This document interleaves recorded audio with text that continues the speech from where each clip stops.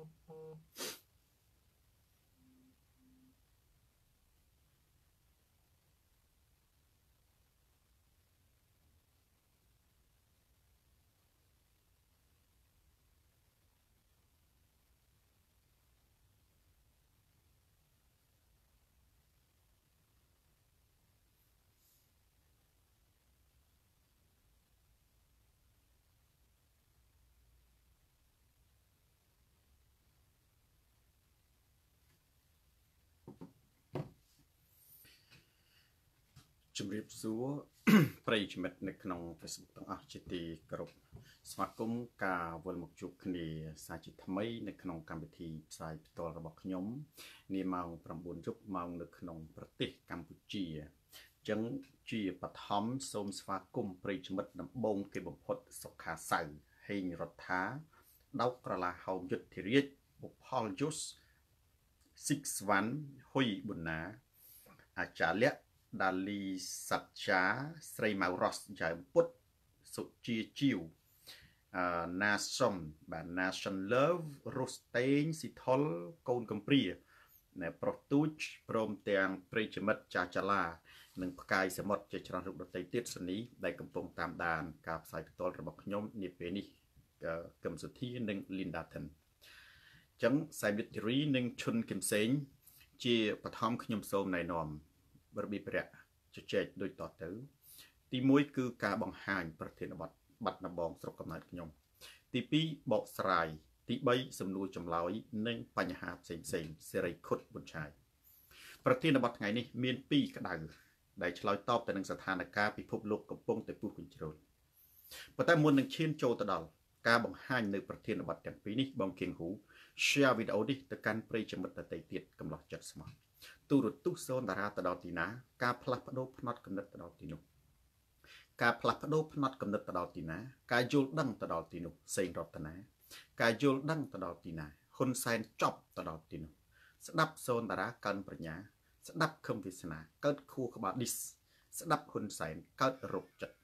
ទូរទស្សន៍សូនតារា ស្រាតខោជន់ផ្ដាច់ការផ្លាស់ប្ដូរផ្នត់កំណត់មាន ប្រធានបទ2ទី1 យើងនឹងស្លាប់បើយើងមិនបើហ៊ុនសែនមិនបិទពិភពលោកនឹងបិទកម្ពុជា បាទអានេះគឺជាប្រធានបទទី1សគុណធរៈឡុងប្រធានបទទី2សួងនិពន្ធនិយាយពីឃាតកសម្រាប់កែមលីខ្ញុំនឹងលើកយកនៅ ប្រវត្តិសាស្ត្រនយោបាយសកលលោកមួយ ដែលមានចំណងជើងថាមេដឹកនាំឃាតករក្នុងពិភពលោក កាលពី30ឆ្នាំមុន បាទចឹងប្រិយមិត្តនេះគឺជាប្រធានបទទាំងពីរដែលនឹងលើកយកមកបន្តិចទៀតនេះអញ្ចឹងសាជាថ្មីម្ដងទៀត share វីដេអូនេះទៅកាន់ប្រិយមិត្តដទៃទៀតទូរទស្សន៍សូនតារាចំផាតស្រាតខោជន់ផ្ដាច់ការផ្លាស់ប្ដូរផ្នត់កំណត់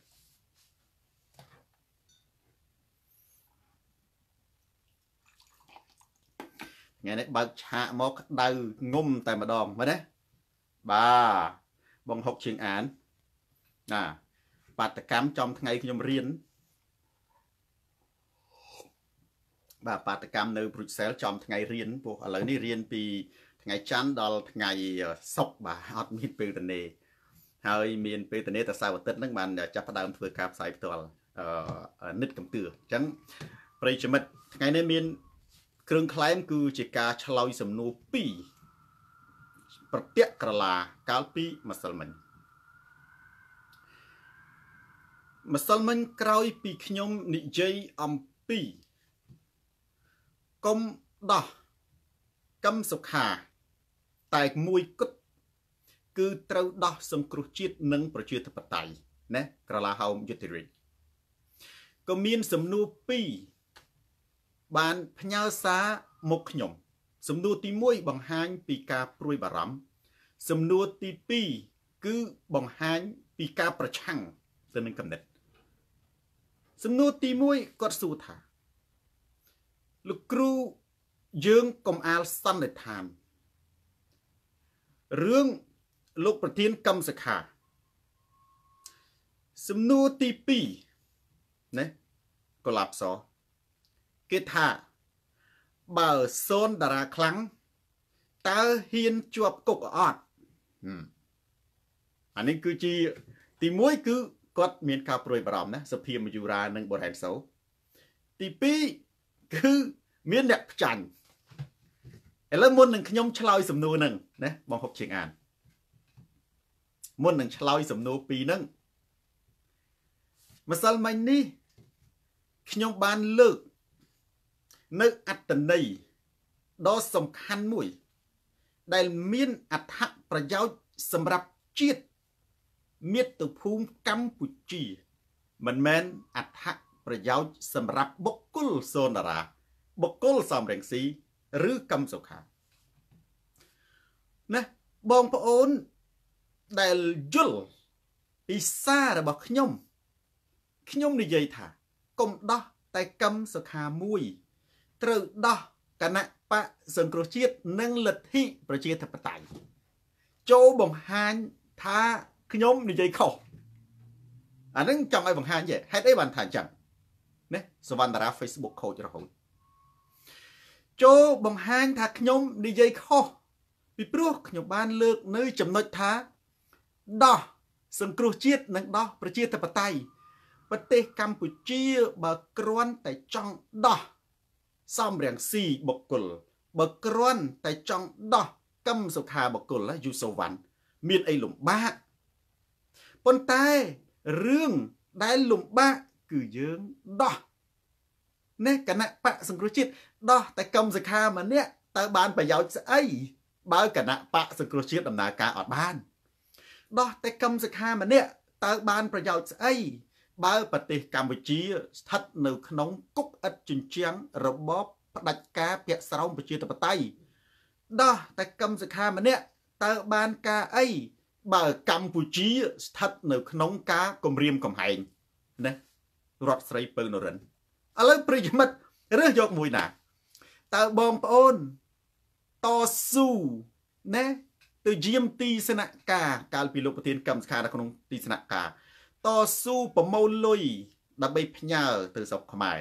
តស៊ូជិះយន្តហោះជិះឡានក្រុងទៅដេកតាមផ្ទះបងប្អូនយើងនៅស្រុកនេះខ្លះដេកតាមវត្តខ្លះដេកនៅក្នុងឡាន ដើម្បីទៅបាតកម្មនៅកូរ៉េឆ្លងទៅជាក់ដេកតាមផ្លូវនៅ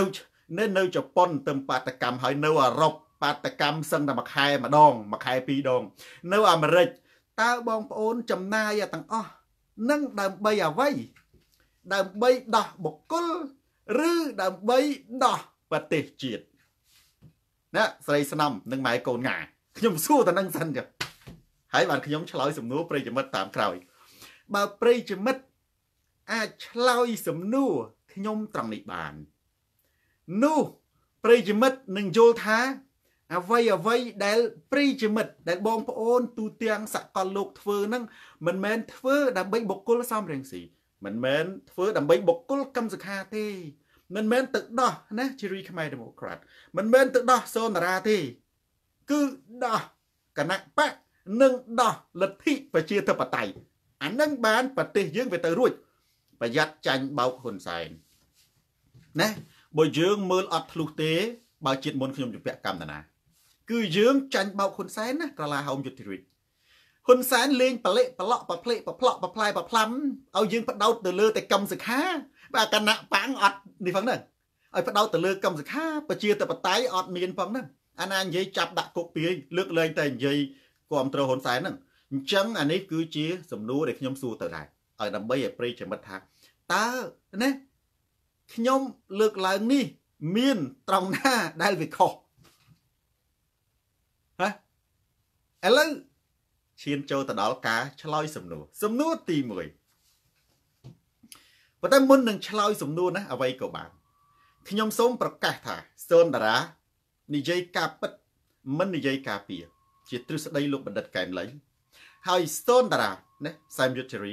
និងតេងមេតធ្វើដើម្បីជាតិមាតុភូមិកម្ពុជាអត់ធ្វើដើម្បីបុគ្គលណាទេហើយខ្ញុំអត់ត្រូវការលៀបសការៈពីនរណាទេ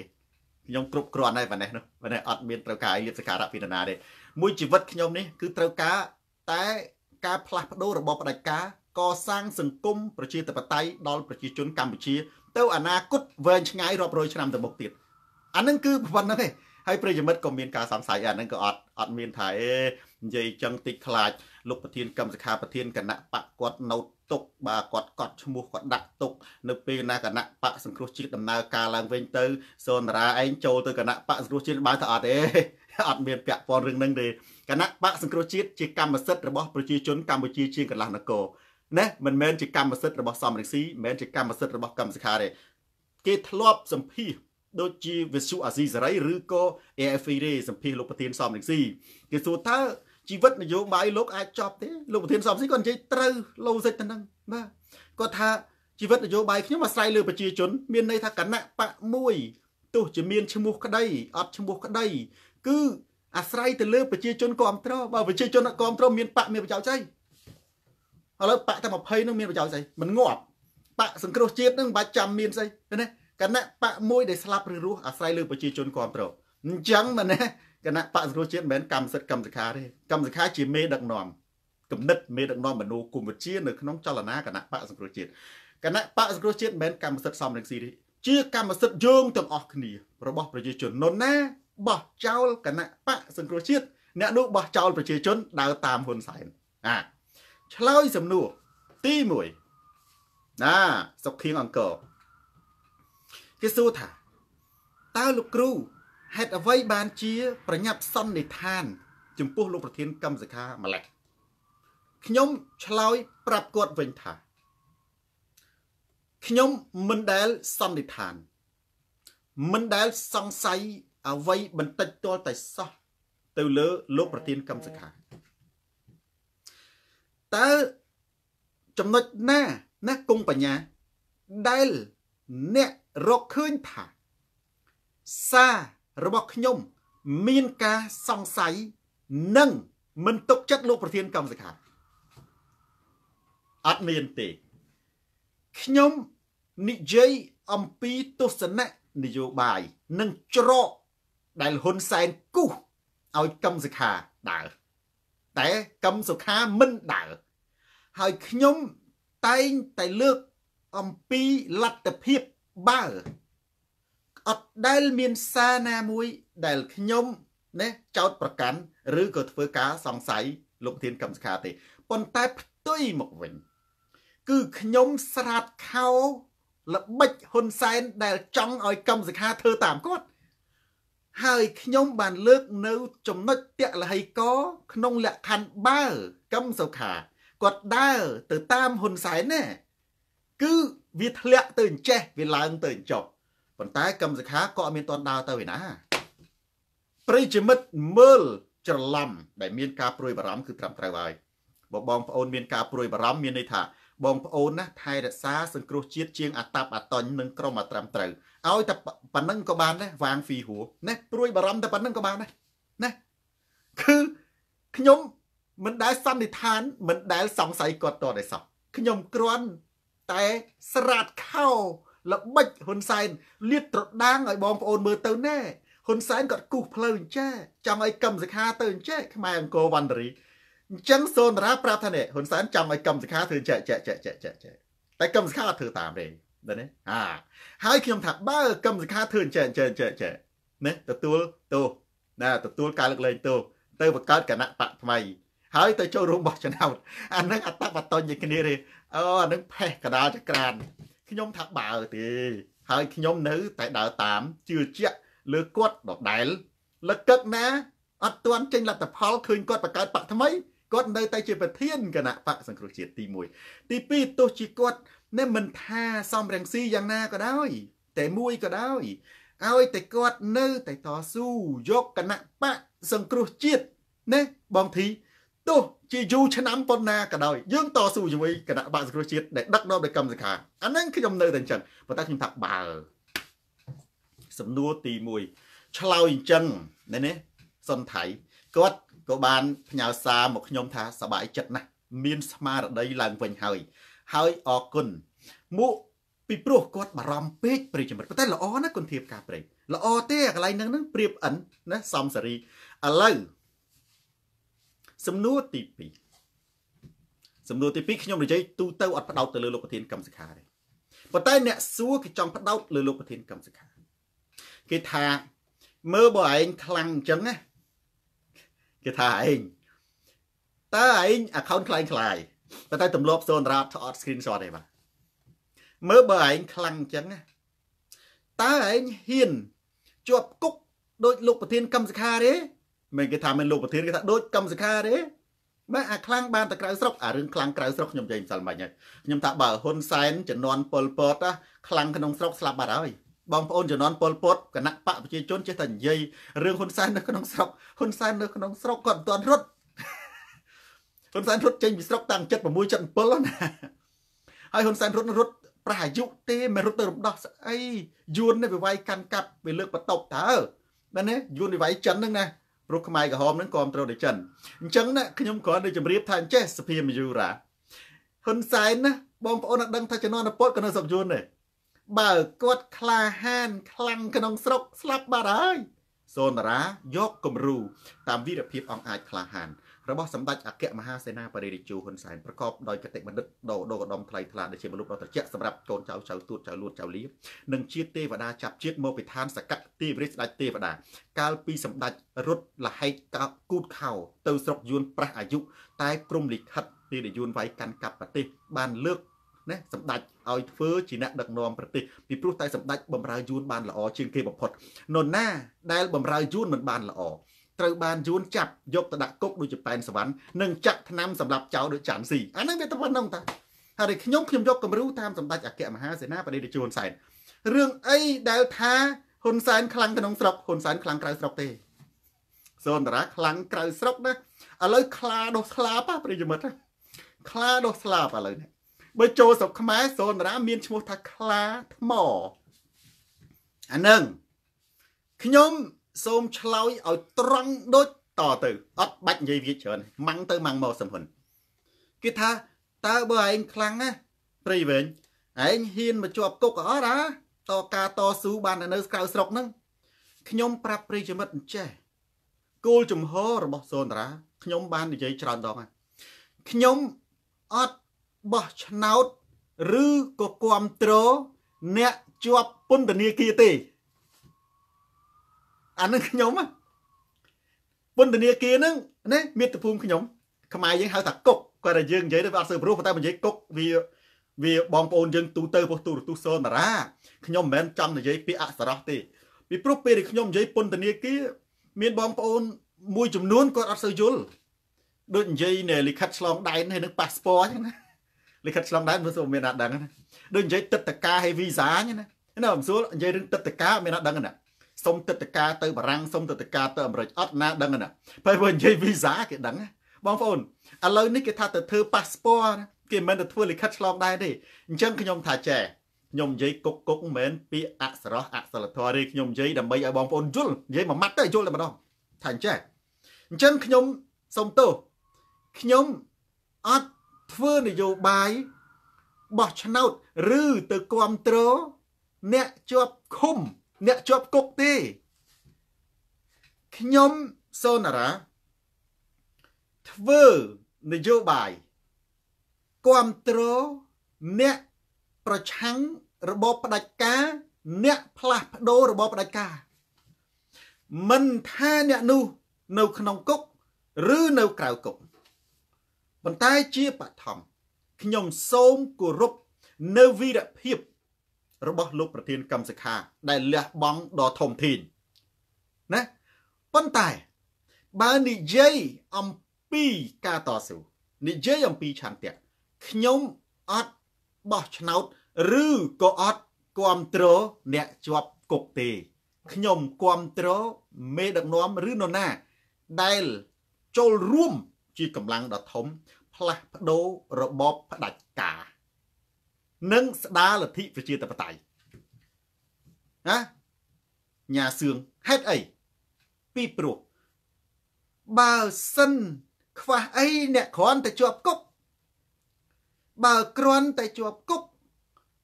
ហើយហៅឈ្មោះថាវីរៈបុរសបើគ្រាន់តែជាប់គុកមែនទេហើយហៅឈ្មោះថាអ្នកសង្គ្រោះជាតិអ្នកជាប់គុកខ្វះអី ជនពិការនៅសៀមរាបក៏គាត់ជាប់គុកដែរខុតសមានគាត់ជាប់គុកដែរថា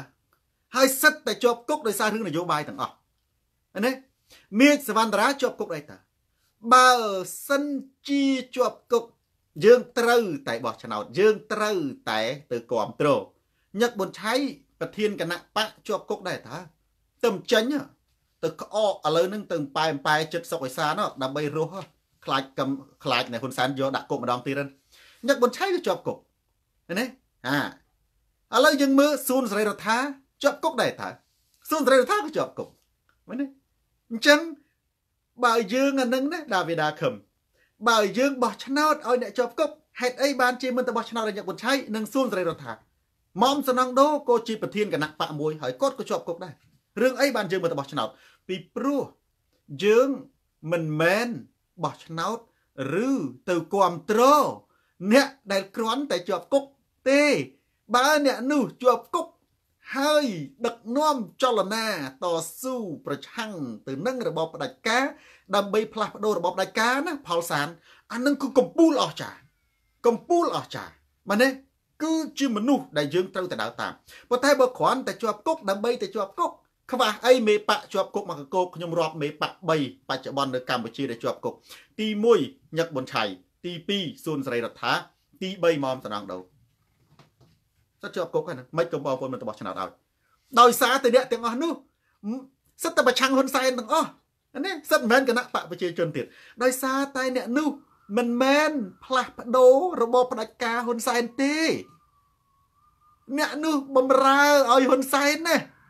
អញ្ចឹងបើគ្រាន់តែជាប់គុកហើយទៅបំរើហ៊ុនសែនអានឹងវាទៅជាសួនសេរីរដ្ឋាវាទៅជាមុំសំណងដោវាទៅជាញឹកប៊ុនឆៃ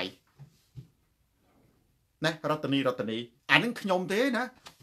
ប៉ុន្តែអានេះខ្ញុំបានបញ្ជាឲ្យគ្រីស្ទីណាកាំងខ្ញុំនិយាយទូទៅអត់សំដៅលើលោកប្រធានកម្មសិក្ខាទេចំពោះលោកប្រធានកម្មសិក្ខាខ្ញុំគោរពវីរភាពរបស់គាត់ប៉ុន្តែញែកទៅនឹងឲ្យច្បាស់ប្រធានបទទី1 ប្រិយមិត្ត share វីដេអូនេះទៅកាន់ប្រិយមិត្តអតីតទៀតទូរទស្សន៍សូនតារា ស្រាតខោជន់ផ្ដាច់ការផ្លាស់ប្ដូរផ្នត់កំណត់បាទលីផាន់ចាណា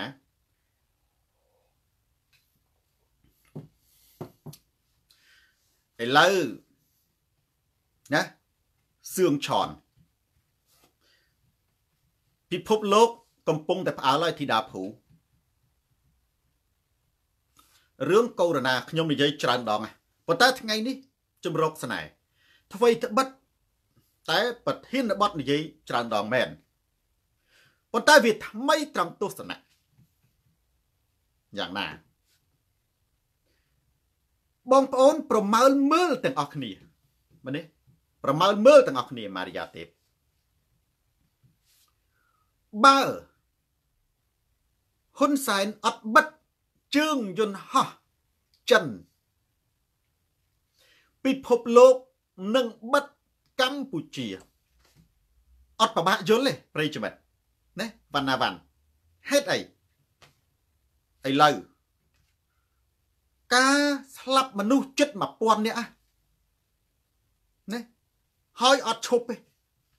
ទី1ទី2ជំងឺនេះ បានឆ្លងពេញប្រទេសចិនណាទី3 ប្រទេសកម្ពុជា បើប្រៀបធៀបទៅតូចជាងខេត្តមួយនៃចិនផងប្រទេសចិនមានខេត្តខ្លះធំជាងប្រទេសកម្ពុជា ហើយប្រទេសកម្ពុជា ប្រជាជន16លាននាក់ណាតិចជាងក្រុងចិនមួយផងណាអញ្ចឹងមីរោគនោះនៅណែនបើឆ្លងចូលដល់កម្ពុជា ដោយសារតែហេតុផល3យ៉ាង ទី1 ហ៊ុនសែនគំរាមណាដូច្នេះគ្មាននរណាម្នាក់ហ៊ាននិយាយការពិតឡើយត្រូវរងចាំក្រសួងនិយាយបើចាំក្រសួងនិយាយទី2គេនឹងបិទព័ត៌មាន គេកាឡៃព័ត៌មាន អាចមានបច្ចុប្បន្នហ្នឹងណាជាងនុចម៉ៅមនុស្សច្រើនណាស់ដែលកំពុងតែឆ្លងនិងស្លាប់ជារៀងរាល់ថ្ងៃ ប៉ុន្តែគេហៅការឆ្លងនិងស្លាប់នោះថា ជាជំងឺផ្ដាសាយជាជំងឺគ្រុនក្តៅណាឬក៏ជាគ្រុនឈាមណាបងធីនិងពៅសារិតើយើងមានអីណាតើយើងមានមានអីយកមកសំអាងណាបើសិនជាគេថាបើយើងមានអីឥឡូវបើក្រសួងថានឹងគ្រុនឈាម ថានឹងថ្លើមតើយើងមានអីជាសំអាងអត់អាលីងចំណុចហ្នឹងណាសក្រវាអែម ដែលជាការលាក់បាំងព័ត៌មានចំណុចទី3គឺការរិចសាយភាយឥឡូវយើងមើលសាហាវជាងជំងឺអេដជំងឺអេដងាយការពារប្រិយមិត្តណាប៉ុន្តែជំងឺនេះឆ្លងតាមខ្យល់ឆ្លងតាមផ្លូវដង្ហើម នៅក្នុងប្រទេសកម្ពុជា បើសិនជាការគម្រាមកំហែង និងការលាក់បាំងនេះ คล้ายទៅជាការឆ្លងពេលនោះប្រិយមិត្តអាចប្រមាលមើលឃើញថាប្រជាជនកម្ពុជា16លាននាក់នឹងឆ្លងទាំងអស់ហេតុអីកម្ពុជាតូចណាប្រិយមិត្តណា16លាននាក់នឹងឆ្លងមែនទេអមរាបារវតេហើយមនុស្សជាច្រើននឹងស្លាប់នៅពេលដែលប្រជាជនកម្ពុជាឆ្លងស្លាប់ ណាធីតាភូពេលនោះយើងនឹងคล้ายទៅជារបបស្លាប់សាហាវជាងរបបប៉ុលពតទី2ត្រង់ណាប៉ុលពតតែតលតែសម្លាប់បានវាស្លាប់អានេះអត់ទេបងប្អូនចាំមើលតិចទៀតណាបើសិនជាអត់មានការរៀបរៀងអត់មានការបិទប្រយ័ត្នទេ ពេលនោះប្រទេសកម្ពុជានឹងឆ្លងហើយស្លាប់ហើយស្លាប់សាហាវជាងរបបប៉ុលពតទៀត ព្រោះឥឡូវយើងមើលស្រុកចិនប្រមាណដល់1000អ្នកឆ្លងប្រមាណ30000អ្នកសួរថាតើមានថ្នាំព្យាបាលនៅមានវ៉ាក់សាំងនៅមនុស្សជាង30000អ្នកដែលឆ្លងនៅស្រុកចិនណាប្រឈមនឹងការស្លាប់មែនទេមនុស្សជាង40000អ្នកផងឥឡូវយើងថា40000អ្នកចុះអ្នកស្លាប់1000 40000អ្នកនោះណាឯកឧត្តមក្តាមប្រៃប្រឈមនឹងការស្លាប់ឥឡូវនៅប្រទេសកម្ពុជាអញ្ចឹងយើងមើលដំណាក់កាលវាដំណាក់កាលទី1ណាការប្រទេសឡុងហ៊ីម មិនបាត់ទី2គម្រាមកំហែងចាប់ដាក់គុកនរណានិយាយអំពីវីរុសទី3បិទបាំងព័ត៌មានបីចំណុចនេះបណ្ដាលឲ្យឆ្លង យើងអត់ដឹងណាគេថាហ្នឹងជំងឺគ្រុនឈាមឆ្លងបណ្ដាលឲ្យស្លាប់ស្លាប់ច្រើនមែនទែននៅពេលណាដែលកម្ពុជា រងការស្លាប់ និងឆ្លងច្រើននៅថ្ងៃអនាគតប្រិយមិត្ត តើមានរឿងអីកើតឡើងណា Master Wang ពេលនោះយើងត្រូវដាក់សំណួរសួរថានរណាជាឃាតករនរណាជាឃាតករសំណួរទី1ទុកឲ្យប្រិយមិត្តឆ្លើយសំណួរទី2ពៅពៅឆេងណាតើយើងទុកឲ្យហ៊ុនសែនបញ្ចូលមេរោគសម្រាប់យោងទាំងអស់គ្នាទូទាំងប្រទេស ឬក៏យើងទូទាំងប្រទេសក្រោកឈរដើម្បីបញ្ចប់របបផ្ដាច់ការព្រោះឥឡូវអាសន្នអាការសម្លាប់មានពីរដំណាក់កាលទី1ជាសំណួរដែលខ្ញុំសួរបាញ់មិញគឺរបបផ្ដាច់ការរំលោភសិទ្ធិមនុស្សគំរាមកំហែងនឹង ជាការសម្លាប់បំបាក់ស្មារតី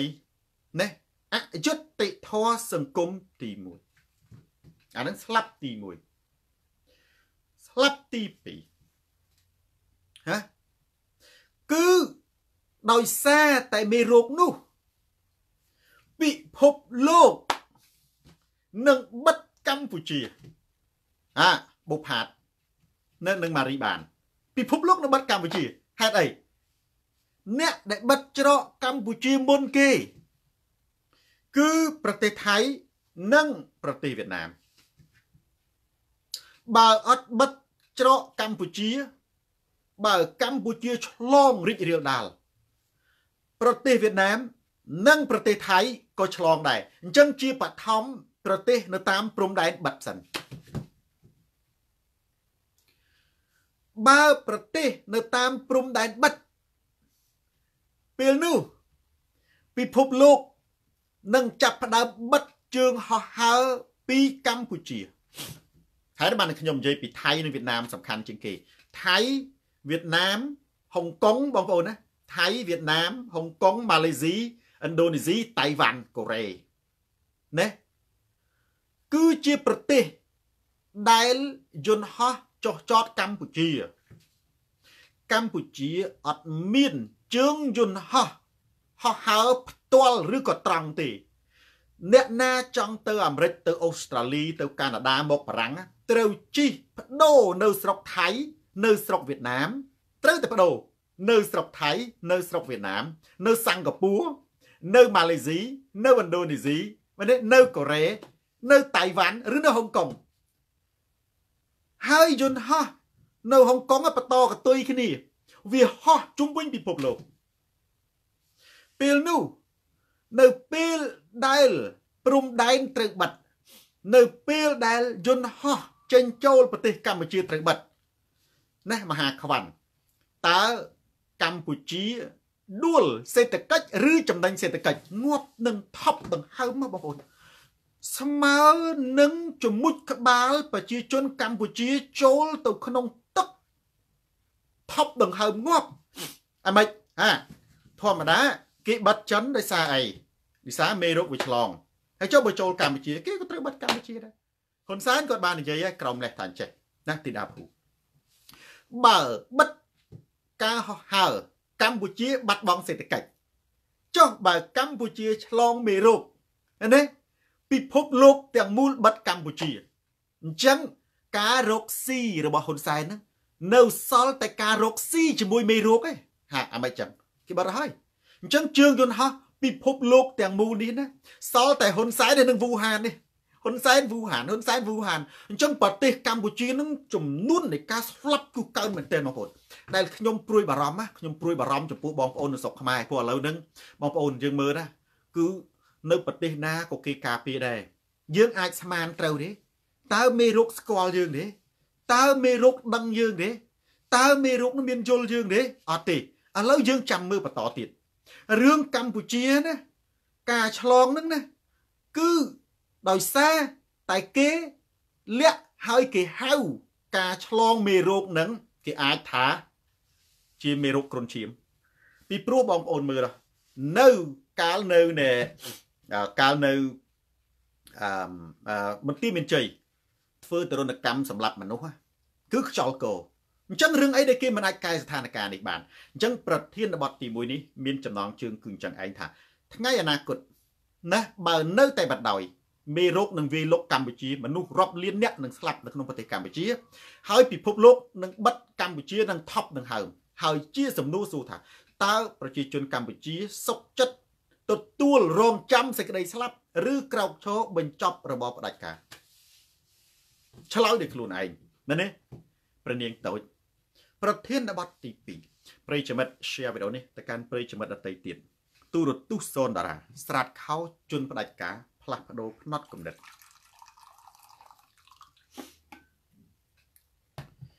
បាទ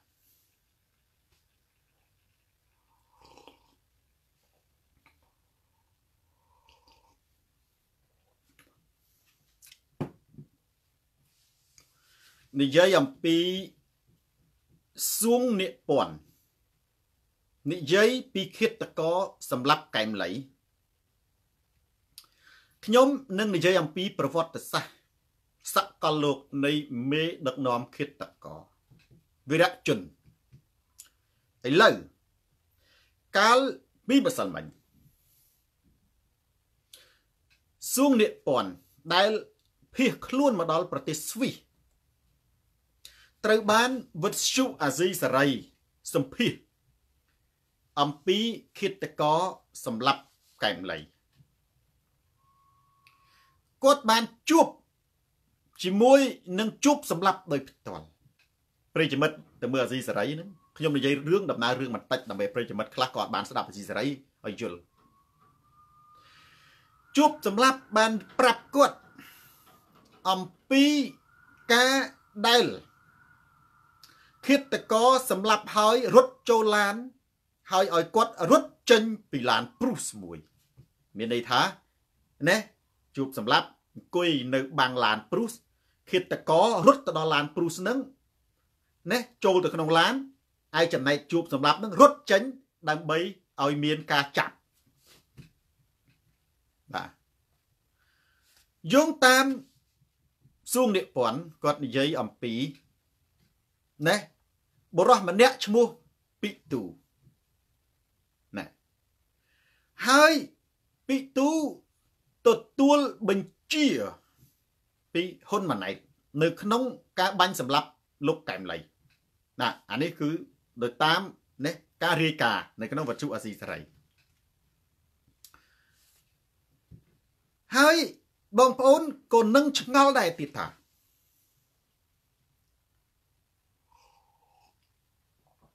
អាស៊ីសេរីក៏បានសួរដែរថាហេតុអ្វីបានជាជួបសម្លាប់នឹងទៅនិយាយប្រាប់នេះសុងនិពន្ធគាត់បានបង្ហាញនៅហេតុផលមួយថាខឹងគេកាត់ទោសអស់មួយជីវិត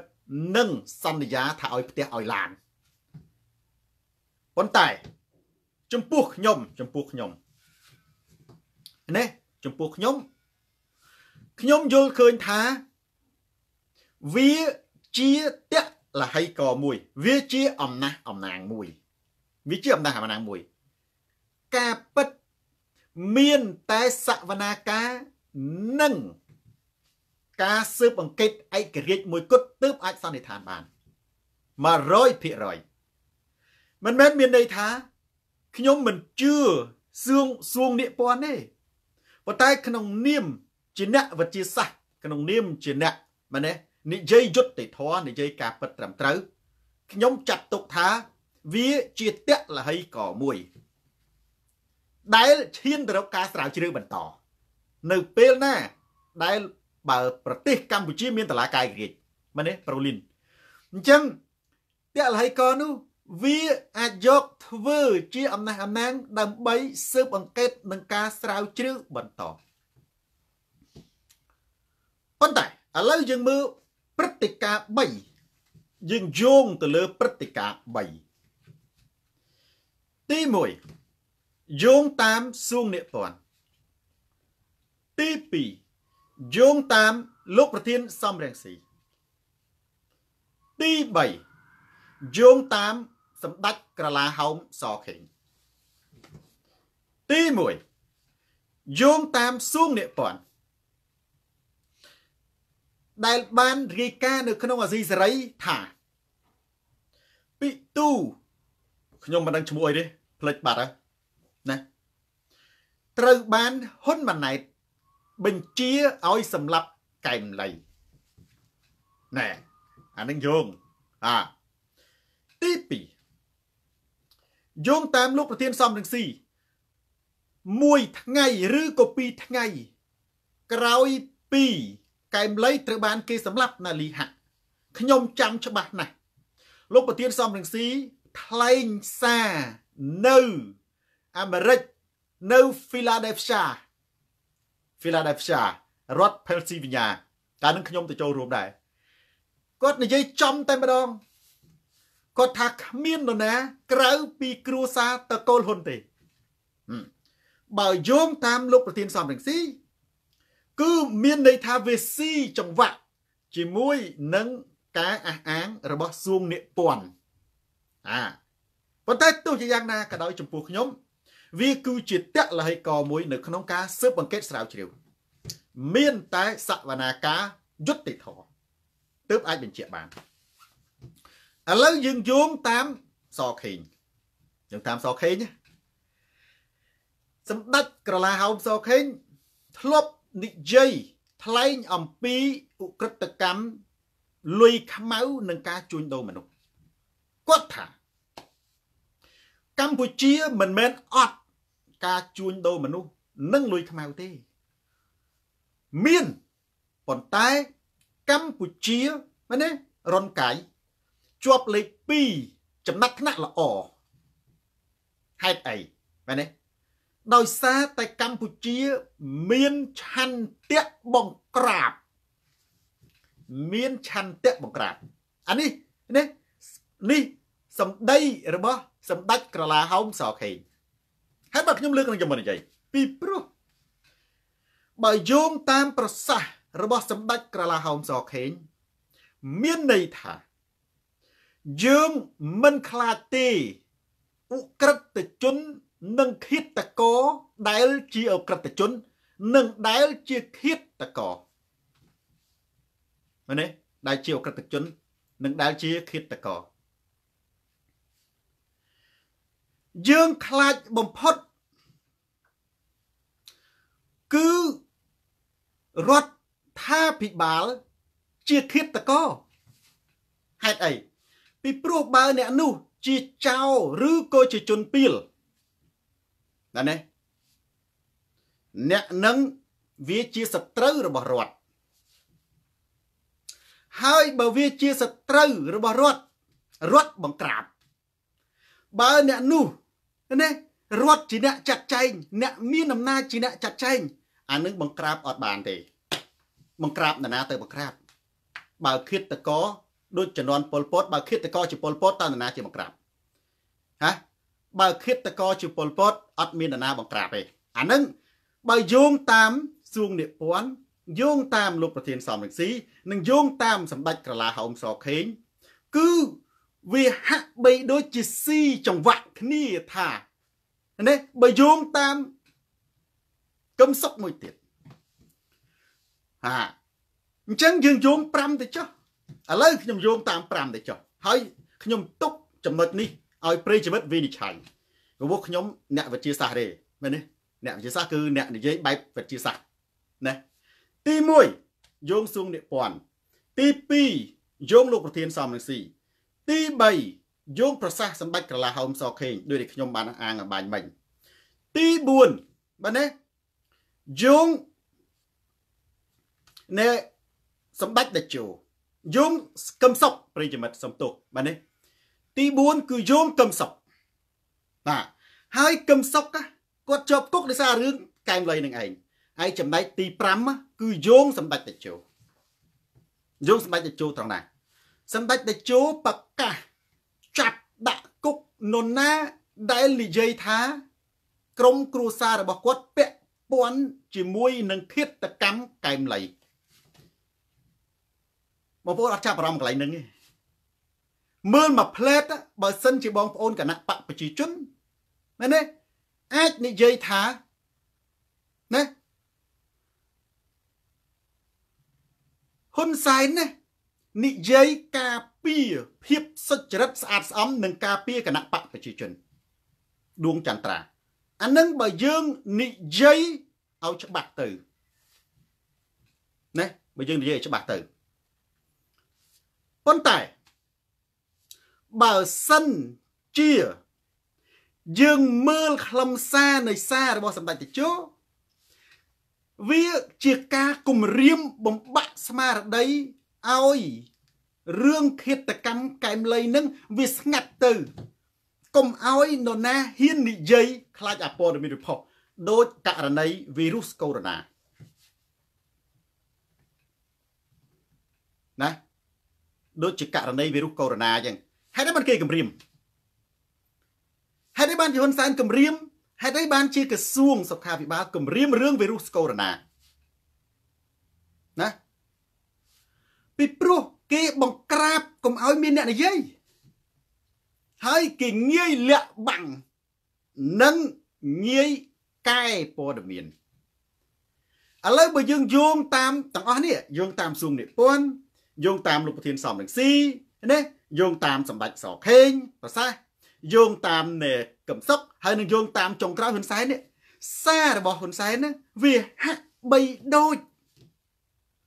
ណាគ្រប់ត្រទៅនឹងសកម្មភាពនៃការអះអាងរបស់កំសុក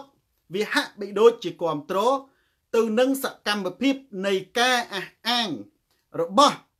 ណាលោកប្រធានសំរងស៊ីនិងសួងនិពន្ធពីព្រោះការគម្រាមរបស់គាត់គឺ អាចដូចការគម្រាមដើម្បីបំបាក់ស្មារតីមនុស្សកុំឲ្យនិយាយបង្ក្រាបរឿងនឹងមិនតែប៉ុណ្ណោះសកម្មភាពចូលបុណ្យហើយលើកកម្ពស់បងប្រុសបណ្ឌិតកែមលីឲ្យទៅបង្កើតគណៈបកព្រោះអានេះគឺជារឿងមួយណាជួនេះខ្ញុំលើកហេតុការលើកហេតុការទាំងអស់នឹងហើយយកមកយកមកសន្និដ្ឋានណាទៅលើខ្លួនឯងទៅប៉ុន្តែខ្ញុំថា វាគឺជាតលហិកមួយ ដែលបើមានតឡាការឯករាជ្យពិតប្រកបដើម្បីស៊ើបអង្កេតស្រាវជ្រាវស្វែងរកការពិតណាជាតលហិកមួយជាអំណះអំណាងមួយឥឡូវយើងមើលចេះ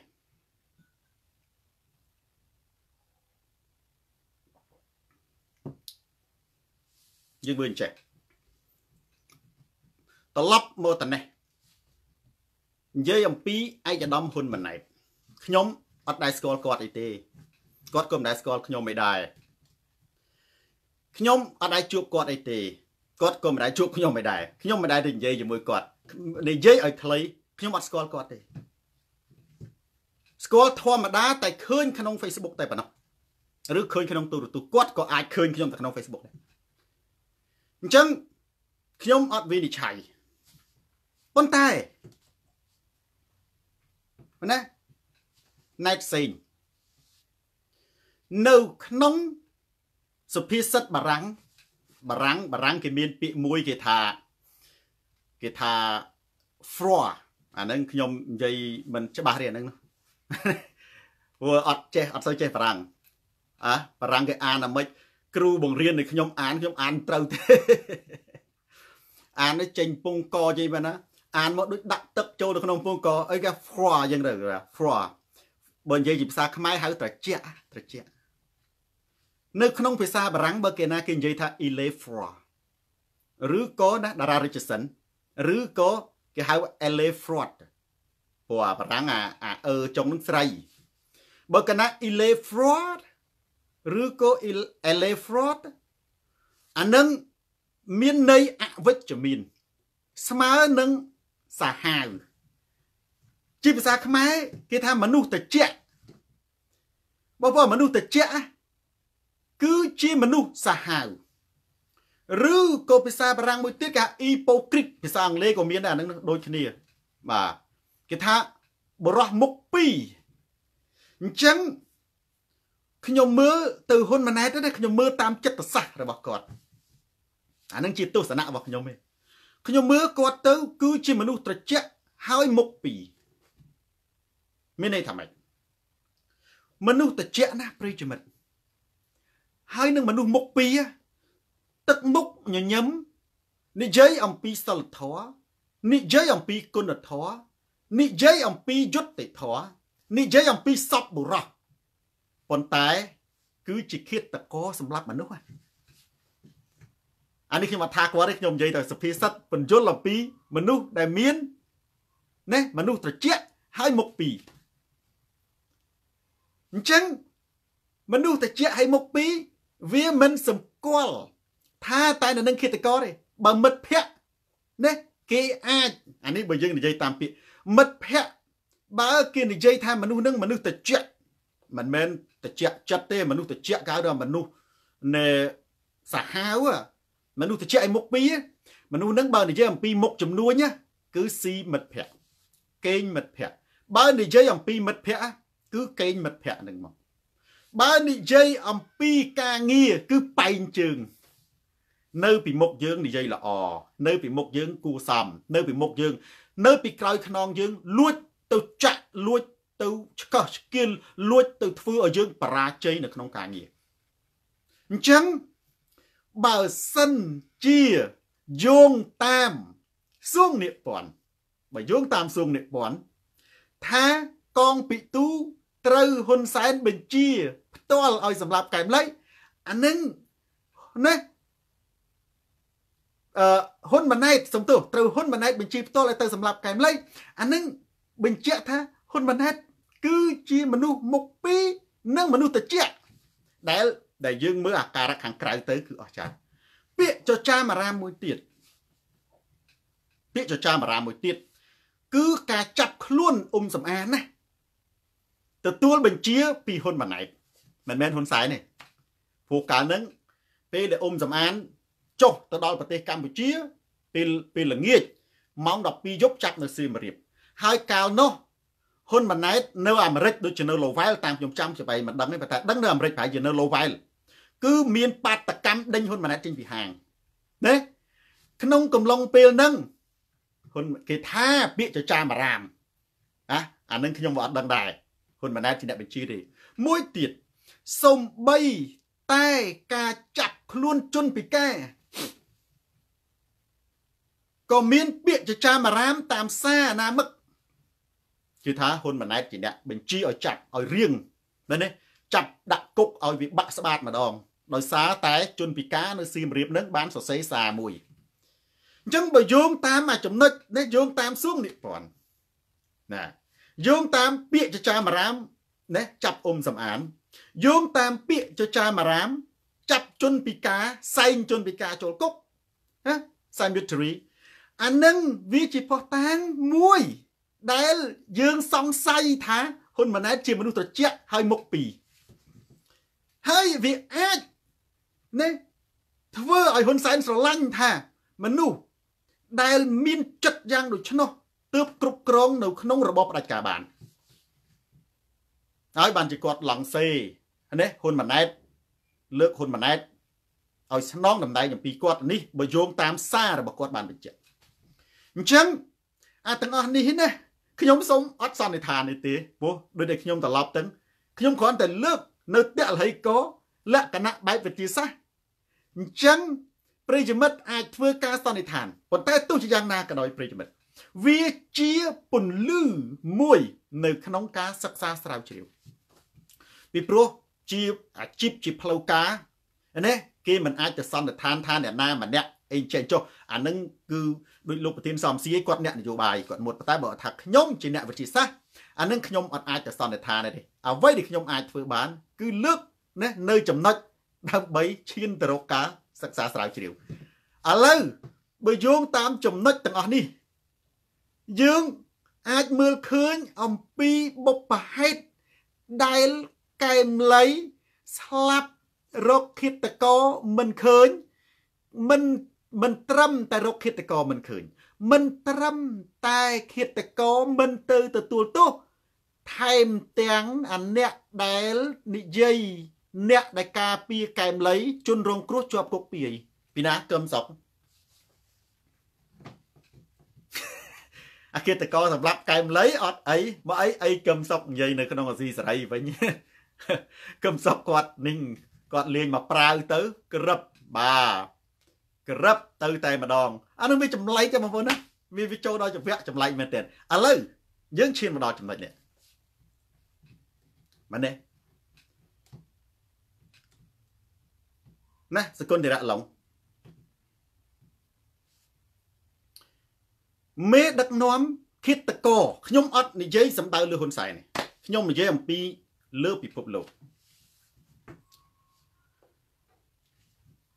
យើងនិយាយណាគង់វណ្ណា កាលពី30ឆ្នាំមុនយើងនិយាយកាលពី30ឆ្នាំមុន នៅលើពិភពលោក ស្ទើរតែ90%ឃាតករជាមេដឹកនាំឃាតករជាវីរៈជនអាហ្នឹងយើងនិយាយចឹងយើងនិយាយ30ឆ្នាំហ្នឹងណាគឺ30ឆ្នាំត្រឡប់ទៅក្រោយរាប់ម៉ឺនរាប់រយឆ្នាំសំណួរខ្ញុំសួរណាសវឿងហុងតើបងប្អូនរកចំណុចខុសឲ្យខ្ញុំឃើញមួយខ្ញុំបានអាងថា 30ឆ្នាំមុនត្រឡប់ទៅក្រោយមុនស្ទើរតែគ្រប់មេដឹកនាំទាំងអស់គឺជាឃាតករហើយឃាតករនោះ គឺជាវរៈជន និងជាវរៈបរោះហេតុអីពីព្រោះជំនាន់មុន កាន់អំណាចដោយច្បាំងយើងមើលរឿងសាមកុក ការបោះឆ្នោតតាមបែបប្រជាធិបតេយ្យមានក្រោយពីសង្គ្រាមលោកលើកទី2ទេក្រោយសង្គ្រាមលោកលើកទី2ទេអានេះបើយើងនិយាយទូទៅដកអាមេរិកចេញយើងនិយាយពីសង្គ្រាមព្រោះអាមេរិកវាខាងមនោគមវិជ្ជាលទ្ធិប្រជាធិបតេយ្យដកអាមេរិកចេញសំបីតែប្រទេសបារាំងដែលខ្ញុំនៅនេះណាណាគេហៅថាសាធារណរដ្ឋទី5សាធារណរដ្ឋទី5ហ្នឹងគឺដូចឆ្នាំ50ជាងហើយ បារាំងមានគេហៅថាសាធារណរដ្ឋទី1សាធារណរដ្ឋទី2សាធារណរដ្ឋទី1ចាប់តាំងពីគេកាត់ក្បាលណាកាត់ក្បាលស្ដាច់អានឹងទី1មកទី2ទី3ទី4អាទី5ហ្នឹងគឺចាប់ពេលដែលមានការបោះឆ្នោតណាមានប្រធានាធិបតីឈ្មោះអឺ Charles de Gaulle ទៅទស្សនកិច្ចនៅប្រាសាទអង្គរវត្តកាលនោះបកូណា ទៅទស្សនកិច្ចប្រទេសកម្ពុជាដែរអញ្ចឹងណាខ្ញុំចង់និយាយថាអានឹងប្រទេសបារាំងផងប៉ុន្តែបើនៅពិភពលោកណា មូលហេតុដែល HCT Aisha កាលពី30ឆ្នាំមុនដេញទៅក្រោយរាល់មេដឹកនាំទាំងអស់គឺជាឃាតករដោយសារការកាន់អំណាចដោយការច្បាំងហូជីមិញជាឃាតករប៉ុន្តែជាវីរៈជនរបស់ណាវៀតណាមហេតុអីពួកគាត់សម្លាប់អាមេរិកដែរគាត់សម្លាប់អាមេរិកក៏ឃាតករ ពួកគាត់សម្លាប់ណាសង្គ្រាមវៀតណាមណាហាឥឡូវយើងមើលចំនួនមុនតើណាមិនជាឃាតករចាប់ផ្ដើមចាប់ផ្ដើមគ្រប់វីរៈជនគ្រប់វីរៈបរោះទាំងអស់ហ៊ុនសែនបើយើងនិយាយអំពីរចនាសង្គ្រាមគាត់ជាឃាតករទេឃាតករក5បើនេះធ្វើសង្គ្រាមជាមួយខ្មែរក្រហមគាត់ជាមេដឹកនាំប្រទេសបើមិនសម្រាប់ខ្មែរក្រហមខ្មែរក្រហមសម្រាប់គាត់អញ្ចឹង ខ្មែរក្រហមឃាតករហ៊ុនសែនឃាតករឥឡូវយើងអូអានឹងឲ្យចប់ខណ្ឌចប់ខណ្ឌអានឹងចប់នេះលើកម្ពុជាបាទយើងឈានចូលការដឹកនាំប្រទេសលើផែនដី30ឆ្នាំក្រោយឬក៏បច្ចុប្បន្នយើងនិយាយថាបច្ចុប្បន្នបងប្អូនបច្ចុប្បន្នមេដឹកនាំគិតកោស្ទើរតែគ្មានណា ស្ទើរតែគ្មានមិនមែនអត់ទេបច្ចុប្បន្នណាមេដឹកនាំគឺជាអ្នកបម្រើជាអ្នកជួយជាអ្នកសង្គ្រោះជាអ្នកធានាសន្តិសុខជាអ្នកការពារបច្ចុប្បន្នដើម្បីคลายជាអ្នកដឹកនាំប្រទេសបានទាល់តែអ្នកនោះស្រឡាញ់ជីវិតប្រជាជន ស្រឡាញ់សន្តិសុខទទួលខុសត្រូវ អាយុជីវិតប្រជាជន រហូតមានប្រទេសខ្លះមេដឹកនាំទទួលខុសត្រូវដល់ជីវិតសត្វផងគេបង្កើតច្បាប់ការពារសិទ្ធិសត្វទៀតអស់អស់ឃើញទេពិភពលោកចាប់ដើមវិវត្តណាយើងទទួលស្គាល់ថាពីមុនឃាតករមានមែនមេដឹកនាំជាឃាតករប៉ុន្តែឥឡូវដែលខ្ញុំលើកនឹងវាមកភ្ជាប់បើយោងតាមសួងនិពន្ធយោងតាមលោកប្រធានសំស៊ីយោងតាមសម្ដេចក្រឡាហោមសខេងបើណាយោងតាមកឹមសុខ តើយើងដើរក្រោយពិភពលោក យើងនៅកាន់អំណាចបែបសាមកុកកាន់អំណាចបែប3000 2000ឆ្នាំមុន ដែលមេដឹកនាំជាឃាតករសម្រាប់ដៃគូសម្រាប់អ្នកប្រឆាំងសម្រាប់អ្នករិះគន់អានឹងពិភពលោកគេលែងមានទៅហើយហ្នឹងលែងមានបងប្អូនណាបច្ចុប្បន្ននេះណារហូតដល់ប្រធានាដូចជានាយករដ្ឋមន្ត្រីណូវេតាមខ្ញុំចាំទេបើយើងខ្ញុំ បើបខុសជួយកែផងគាត់កាន់កាហ្វេទៅប្រជុំចូលជីរថភ្លើងក្រោមដីក៏ប៉ះដៃជាមួយនឹងអាច្រកចូលកពុបកាហ្វេពេលនោះអ្នកអនាម័យមកជូតគាត់ទាញអានឹងជូតខ្លួនឯងអានឹងទាញនឹងជូតខ្លួនឯងនៅបារាំងនេះចវាយក្រុងក៏ដោយចវាយក្រុងខ្ញុំនៅនេះណាបើទៅទិញនំប៉័ងឧទាហរណ៍ គាត់មកក្រោយខ្ញុំគាត់ឈរក្រោយខ្ញុំហើយបើឃើញមនុស្សចាស់ណែជនពិការនិងផ្ទៃពោះត្រូវទៅមុនគឺត្រូវទៅមុនអត់មានថងអានឹងចវាយក្រុងប៉ារីអត់ទេអត់មាននិយាយចឹងទេអានេះអត់មាននិយាយចឹងទេអញ្ចឹងការវិវត្តទៅណាចែម៉ាផ្សារជ្រួយនាងនាងនាងងួនការវិវត្តទៅរបស់ពិភពលោកមេដឹកនាំកាន់តែដឹកនាំប្រទេសកាន់តែធ្វើល្អពីព្រោះមនុស្សអ្នករើស មានតែមេដឹកនាំផ្ដាច់ការមួយគត់ដែលប្រជាជនអត់រើសប្លន់អំណាចកាន់អំណាចដោយការប្លន់កាន់អំណាចដោយការអាវុធចាប់មនុស្សដាក់គុកសម្លាប់មនុស្សណាតាមរយៈផ្លូវងងឹតក្តីផ្លូវភ្លឺក្តីនេះបងប្អូននៅប្រទេសដទៃណាដូចនៅប្រទេសថៃណាញងសារឿននៅប្រទេសថៃ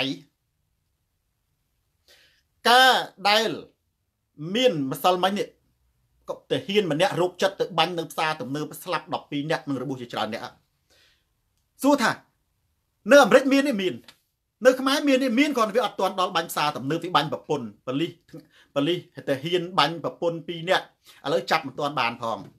អានេះមិនដឹងថាគិតតកបកែរត់ឬក៏អត់ចង់ចាប់អារឿងយើងអត់ដឹងទេណាហើយយើងសង្ឃឹមថាចាប់ឲ្យបានទៅចុះបាញ់គូដណ្ដឹងខ្លួនឯង ណាបាញ់គូដណ្ដឹងខ្លួនឯងស្លាប់នៅកំពង់ស្ពឺហើយនឹងបាញ់ប្រមាណហ្នឹងអញ្ចឹងនៅអាមេរិកក៏មានបើយើងនិយាយទៅផែនដីយើងនេះណាយើងអាចគ្រប់គ្រងអារម្មណ៍មនុស្សបានទេបងប្អូនអារម្មណ៍មនុស្សអាចឈួតគ្រប់ពេលអាចបើកឡានទៅបុកអាចណាអាចលួចទៅលើផ្ទះយើងគ្រប់ឲ្យបាននេះប៉ុន្តែយើងកុំខ្លាចអានោះហេតុអីផុនសារ៉នហេតុអីបានយើងកុំខ្លាចពីព្រោះអានឹងវាជាសត្រូវរបស់រដ្ឋដូចជានៅថៃ ว่าនឹងមិនមែនជាផែនការរៀបចំរបស់រដ្ឋាភិបាលថៃទេថៃត្រូវតែបង្ក្រាបហើយសួរថាផែនដីយើងទៅបង្ក្រាបមនុស្សអស់ទេអត់ទេបងប្អូនណានៅស្វីសក៏ដោយនៅទីណាក៏ដោយតែងតែមានមនុស្សលប់សតិនឹងហ្មងព្រោះណាតាមពុទ្ធសាសនាតាមសាសនានានាក៏ដោយគេថាមនុស្សយើងវាមានបាបឲ្យតែមនុស្សនៅលើផែនដីវាអត់ល្អឥតខ្ចោះទេ ដោយសារតែមនុស្សវាមានបាបមនុស្សវាមានកម្មមិនល្អឥតខ្ចោះហ្នឹងណាគុណមាឡាលោកសំរៈតុបតែងផ្ទះបានជាគេបង្កើតច្បាប់តឹងរឹងណាអាគេបង្កើតច្បាប់តឹងរឹងមកពីមូលហេតុហ្នឹងបើមនុស្សនឹងល្អសិលធម៌ដូចសិល5ពុទ្ធសាសនាវាអស់ច្បាប់អាលាយអស់ហើយហើយដោយសារប្រទេសបារាំងប្រទេសហ្នឹងមនុស្សជួនកាលវាសាហាវជាងស្រុកខ្មែរបានជាច្បាប់គេតឹងជាងស្រុកយើងយើងអាចថាស្រុកយើងច្បាប់វិធូហ្នឹងរឿងមួយយ៉ាងប៉ុន្តែមួយយ៉ាងទៀតអាចថាខ្មែរយើងនៅល្អច្រើនណាបងប្អូន នៅស្រឡាញ់គ្នានៅអ្នកភូមិហត់សម្លមួយចានភ្លក់ទៅយកឲ្យគ្នាណានៅស្រុកខ្ញុំនៅស្រុកអីពីមុនហ្នឹងបានសម្លមួយឆ្នាំងធំហ្នឹងហត់ភ្លក់ទៅ ទំនងតែឆ្ងាញ់យកចែកគ្នា3 4គ្រួសារហើយដើរដើរទៅនឹងសុំប្រទេសដើរដើរទៅនឹងចូលទៅផឹកទឹកដើរដើរទៅនឹងគ្មានថាខ្មែរយើងនិយាយពីបបធរនឹងល្អខ្ញុំស្រឡាញ់តែនោះនិយាយមកល្អមិនបាច់មានច្បាប់មានទម្លាប់អីទេបងប្អូនប៉ុន្តែដោយសារអាសង្គមកណានឹងយើងនៅតែឯង យើងនៅតែឯងមានន័យថាផ្ដាច់ពីពិភពលោកប៉ុន្តែឥឡូវពិភពលោកវាជ្រៀតចូលអាសេដ្ឋកិច្ចវៃលុកហ្នឹងតម្រូវឲ្យមនុស្សខូចវិវ័យលុកអញ្ចឹងច្បាប់វាត្រូវតែតឹងរឹងច្បាប់វាត្រូវតែបំរើប្រជាជនអញ្ចឹងមេដឹកនាំមានតួនាទីទៅបំរើត្រូវធានាការពារសន្តិសុខសុវត្ថិភាពជីវិតមនុស្សបងប្អូនជីវិតមនុស្សមានតម្លៃណាស់នៅក្នុងប្រទេសណាក៏ដោយប៉ុន្តែបើសិនជាមេដឹកនាំនៅផ្ដាច់ការគេចាត់ទុកការសម្លាប់មនុស្ស គឺជារឿងធម្មតាឥឡូវខ្ញុំសួរណាទូរទស្សន៍សនតារាថ្ងៃនេះគឺស្រាតខោជន់ផ្ដាច់ការដើម្បីឲ្យឃើញពិភពលោកមើលឃើញវិវត្តថា ពិភពលោកជាង30ឆ្នាំមុនមាន ហើយយើងអត់អាចទៅខឹងមេដឹកនាំបានទេពីព្រោះអានឹងបើយើងមិនសម្លាប់គេគេសម្លាប់យើងយើងអត់អាចទៅខឹងហ៊ុនសែនកាលពី20ឆ្នាំមុនបានទេតែគាត់ជាឃាតករយើងអត់អាចខឹងគាត់បានទេអាម៉េចព្រោះគាត់ធ្វើសង្គ្រាមជាមួយខ្មែរក្រហម បើគាត់មិនវាយខ្មែរក្រហមខ្មែរក្រហមទៅវាយគាត់ប៉ុន្តែបើឥឡូវនរណា ដែលបង្កើតទីផ្សារជន់ពីលងងឹតដើរវាយមនុស្សពេញក្រុងភ្នំពេញនរណាដែលនាំមេរោគមកឲ្យចូលសម្រាប់ខ្មែរនរណាដែលចិញ្ចឹមឃាតករដើម្បីសម្លាប់អ្នកប្រឆាំងបំបិតមកអានោះណាបែប្រិយមិត្តយើងអត់ត្រូវទុកទេ ពិភពលោកវាអត់អាចដើរទៅសាមកុកទេ ពិភពលោកវាត្រូវដើរទៅរករុងរឿងវាត្រូវដើរទៅរកមេដឹកនាំដែលស្អាតស្អំដែលស្រឡាញ់ជីវិតមនុស្សនេះវាហួសសម័យហើយសួរថាចុះបងប្អូនយើងមិនត្រូវទៅគ្រប់គ្រងបងប្អូនយើងវាមិនមែនសុទ្ធតែនេះទាំងអស់ណាដូចខ្ញុំថាកុំថាឡើយបកកើតគណៈបកបកកើតគណៈបកស្រាតក៏មានអ្នកគ្រប់គ្រងដែរចៅវាមានក្រុមចៅវាគ្រប់គ្រងគ្នាវារឿយជារឿងធម្មតាទេអញ្ចឹងបានគេតម្រូវឲ្យបោះឆ្នោតនោះ មិនបានថាអញ្ចឹងមនុស្សឆ្លោះគ្នាវាអត់ចេះចប់ទេប្រិយមិត្តចាអញ្ចឹងបានគេឲ្យមានតួអង្គទៅសម្ដែងគេឲ្យមានអ្នកស្ដាប់ឲ្យគេជ្រើសរើសពីព្រោះបើឲ្យពីរអ្នកហ្នឹងដែលមានកំណត់ផ្ទុយគ្នាមកជជែកគ្នាដើម្បីឲ្យឈ្នះអាហ្នឹងគឺជជែកមិនក៏អត់ចេះចប់ដែរបើឲ្យគណៈបកប្រជាជននិងគណៈបកសង្គមជាតិជជែកគ្នាអត់ចប់ទេប៉ុន្តែបើឲ្យជជែកគ្នាឲ្យមានប្រជាជនស្ដាប់ហើយគេដាក់បន្ទុកអាហ្នឹងចប់មិនចឹង គេគ្រប់គ្រងខាងណាច្រើនជាងអានឹងឈ្នះអានឹងហើយដែលជាប្រទេសលទ្ធិប្រជាធិបតេយ្យដែលខ្ញុំសរុបមកហ្នឹងណាថាយើងកុំសង្គ្រោះកុំរំដោះកម្មសខាម្នាក់ឯងយើងសង្គ្រោះជាតិយើងរំដោះប្រជាធិបតេយ្យយើងរំដោះគណៈបកសង្គ្រោះជាតិបើដោះតែកម្មសខាមួយឆ្កុយតើមានប្រយោជន៍អីប្រយ័ត្នចាញ់បោកហ៊ុនសែនហើយលោកប្រធានកម្មសខាក៏ដឹងច្បាស់ជាងយើងណាពីពីព្រោះគាត់ គឺជាមេបកដ៏ធំមួយនៅក្នុងប្រទេសកម្ពុជាទទួលខុសត្រូវចំពោះប្រវត្តិសាស្ត្រនៃការផ្លាស់ប្ដូររបបផ្ដាច់ការអញ្ចឹងប្រិយមិត្តខ្ញុំសូមបញ្ចប់នៅរបៀបរយៈទី2តែត្រឹមនេះហើយយើងឈានចូលទៅដល់របៀបវរៈទី3គឺសំណួរចម្លើយនិងបញ្ហាផ្សេងផ្សេងហេងហុកកឺសុំទោសអ្នកមានគុណបាទនិងសុខាព្រំប្រិយមិត្ត share វីដេអូនេះទៅកាន់ប្រិយមិត្តដទៃទៀតទូរទស្សន៍សូនតារា ស្រាតខោជន់ផ្ដាច់ការផ្លាស់ប្ដូរផ្នត់គំនិត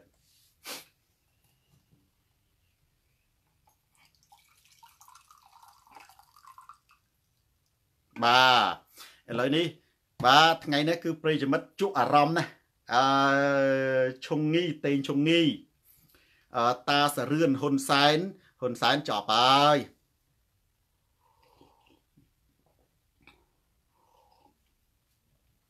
ប្រិយមិត្ត សូនតារាគឺទូរទស្សន៍សូនតារាស្រាតខោជន់ផ្ដាច់ការផ្លាស់ប្ដូរផ្នត់កំណត់គឺនិយាយបែបវិទ្យាសាស្ត្របងប្អូនថាអេលោកគ្រូមិនក៏អញ្ចឹងហើយពីព្រោះយើង ប្រឆាំងទៅនឹងភាពអយុត្តិធម៌យើង ប្រឆាំងទៅនឹងការនិយាយដោយគ្មានមូលដ្ឋាន យើង ប្រឆាំងទៅនឹងការលៀបពណ៌ហើយយើងត្រូវតែប្រឆាំងខ្លួនឯងមុនគេណាយើងប្រឆាំងខ្លួនឯងមុនគេហេតុអី អញ្ចឹងណាប្រជាជនអ្នកដាក់បន្ទុកទេអានេះគឺជាមូលហេតុដែលទូរទស្សន៍សូនតារា មានប្រជាប្រិយភាពជាងទូរទស្សន៍គណៈបកប្រជាជន50ប៉ុស្តិ៍និងមានប្រជាប្រិយភាពជាងទំព័រ Facebook ហ៊ុនសែនណាអញ្ចឹងបានថាប្រិយមិត្តម្ដងទៀតនឹងគឺថាកុំយកសូនតារាទៅប្រៀបធៀបជាមួយអតាប់អតុញនិងណាអាមីអាថោងក្រុមអាត្រឹមត្រូវយកទៅប្រៀបធៀបជាមួយហ៊ុនសែនបើយើងមើលទូរទស្សន៍សូនតារា ណារាជសីជលសានិងទូរទស្សន៍ហ៊ុនសែនខុសគ្នាដោយមេឃដីហ៊ុនសែនចប់ហើយទៅមិនរួចទេអានឹងក៏ជារង្វាស់មួយដែរមួយទៀតណាប្រិយមិត្តសភីមយូរ៉ា Facebook ហ៊ុនសែនណា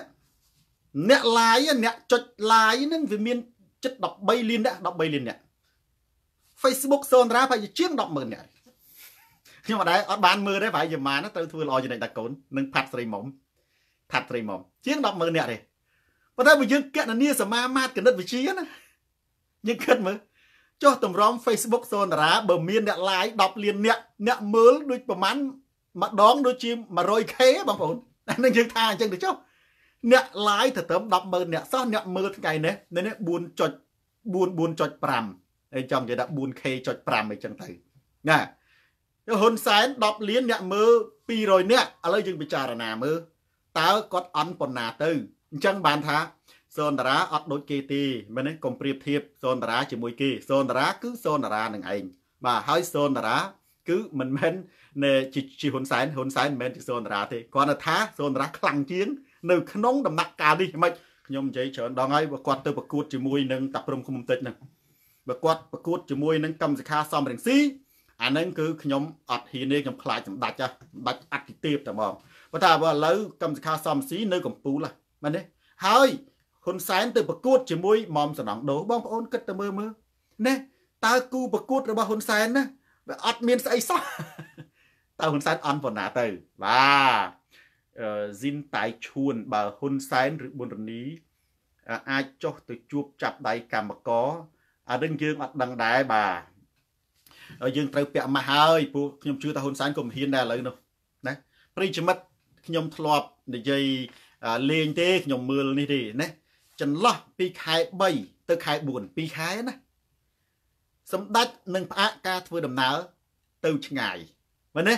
បើយោងតាមតារាសាស្ត្រការធ្វើដំណើរឆ្ងាយ គឺជាគ្រោះមិនមែនជាលៀបអាចារ្យលក្ខបាសាមកុកឥឡូវហួសសម័យហើយ បាទសាមកុកពីមុនឥឡូវមានស្អី GPS ចាប់នេះតតក្នុងរូងក៏ដាក់ទុងដែរមានតែចាញ់បោកអី ឥឡូវនេះមិនបាច់តែមានសាមកុកសាមកុកអានឹងវាត្រូវនៅក្នុងចំនួនអត់មាន GPS វាត្រូវចំនួនអត់អ៊ីនធឺណិតវាត្រូវចំនួនអត់មានមីស៊ីលណាបើឥឡូវមាន GPS មានអ៊ីនធឺណិតមានមីស៊ីលផែនទី30កុកពីដើមអុំទូកឲ្យត្បុលប្រើដាវឥឡូវមានណាប្រើដាវអេវាអស្ចារ្យមែនរឿងហ្នឹងណាវាអស្ចារ្យសម្រាប់2000ឆ្នាំមុន អឺរាសសាមញ្ញបាទភ្នែកខ្វាក់ហើយអាគូប៉ូឡាន់សូនតារាស្រាតខោជន់ផ្ដាច់ការវាសនាសៀងកុំភ្លេចអរគុណសន្តិភាព បើមេរោគចូលមកគឺសន្តិភាពនឹងហើយដែលនាំមេរោគចូលមកបើសិនជាប្រទេសកម្ពុជាគ្មានសន្តិភាពទេណាស្រុនវិមានក៏មេរោគវាអត់ហ៊ានចូលមកដែរបាទអឺមន្ថាថាច់កឹមយើងត្រូវពាក់ម៉ាស់មែនហើយការពារចំណុចបងប្អូនឥឡូវយើងព្រួយបារម្ភណា ចិនហោះហើរចូលប្រទេសកម្ពុជាសេរីរឿងអីឆ្លងតែម្នាក់មែនទេវាអាចច្រើនអ្នកវាអាចស្លាប់រាល់ថ្ងៃប៉ុន្តែគេអត់ហៅថាវីរុសកូវីដ -19 គេហៅថាគ្រុនឈាមហើយបើសិនជាប្រទេសកម្ពុជាឆ្លងពេញប្រទេសលឿនអាហ្នឹងណាទៅហ៊ុនសែនមិនបិទចិនក៏ពិភពលោកបិទកម្ពុជាដែរហ្មងចឹងទី1កម្ពុជាជនកម្ពុជាមិនអាចទៅណាបាន គេក៏មិនមកអានឹងគឺចង់ចំណេញមេរោគយន្តហោះពីវូហានត្រូវបិទពលានយន្តហោះមកពីជុំវិញពិភពលោក ស្លាប់ដោយសារតែការខ្ទប់ដង្ហើមតែម្ដង បាទអុកសីហាអ្នក like អ្នក follow ពូឯងសុទ្ធតែគ្នាអាសុទ្ធតែគ្នាពូឯងដែលនឹងត្រូវអាហ្នឹងគឺវាការពិតអាហ្នឹងហើយដែលបញ្ជាក់ថាគ្នាច្រើនហ្នឹងណាធម្មតាអ្នកដែល live វាមានពីរប្រភេទអ្នកដែលចុច like ចុច follow នៅ Facebook ទី1គេចង់ដឹងដែរទី2គេគ្រប់គ្រង បើសិនជានិយាយថាទេអ្នកដែលចុច like follow សូនតារាសុទ្ធតែគ្នាពូឯងត្រូវបើសិនជាមានអ្នកចុច like ច្រើនអានឹងគ្នាខ្ញុំវាច្រើនអានឹងដែលហៅជាជារង្វាស់អ្នក follow អ្នកមើលហ្នឹងហើយជាគ្នាហើយចុះបើសិនជាគ្នាសូនតារាឧទាហរណ៍ថាហ៊ុនសែនក៏មានអ្នកគាត់មានអ្នកចុច Facebook live 13លានអ្នកចឹងនៅពេលដែលផ្សាយផ្ទាល់មានគ្នាតែ200បាទហើយគ្នាសូនតារាឥឡូវនេះរហូតដល់នាទីចុងក្រោយនៅតែ 4K ដដែល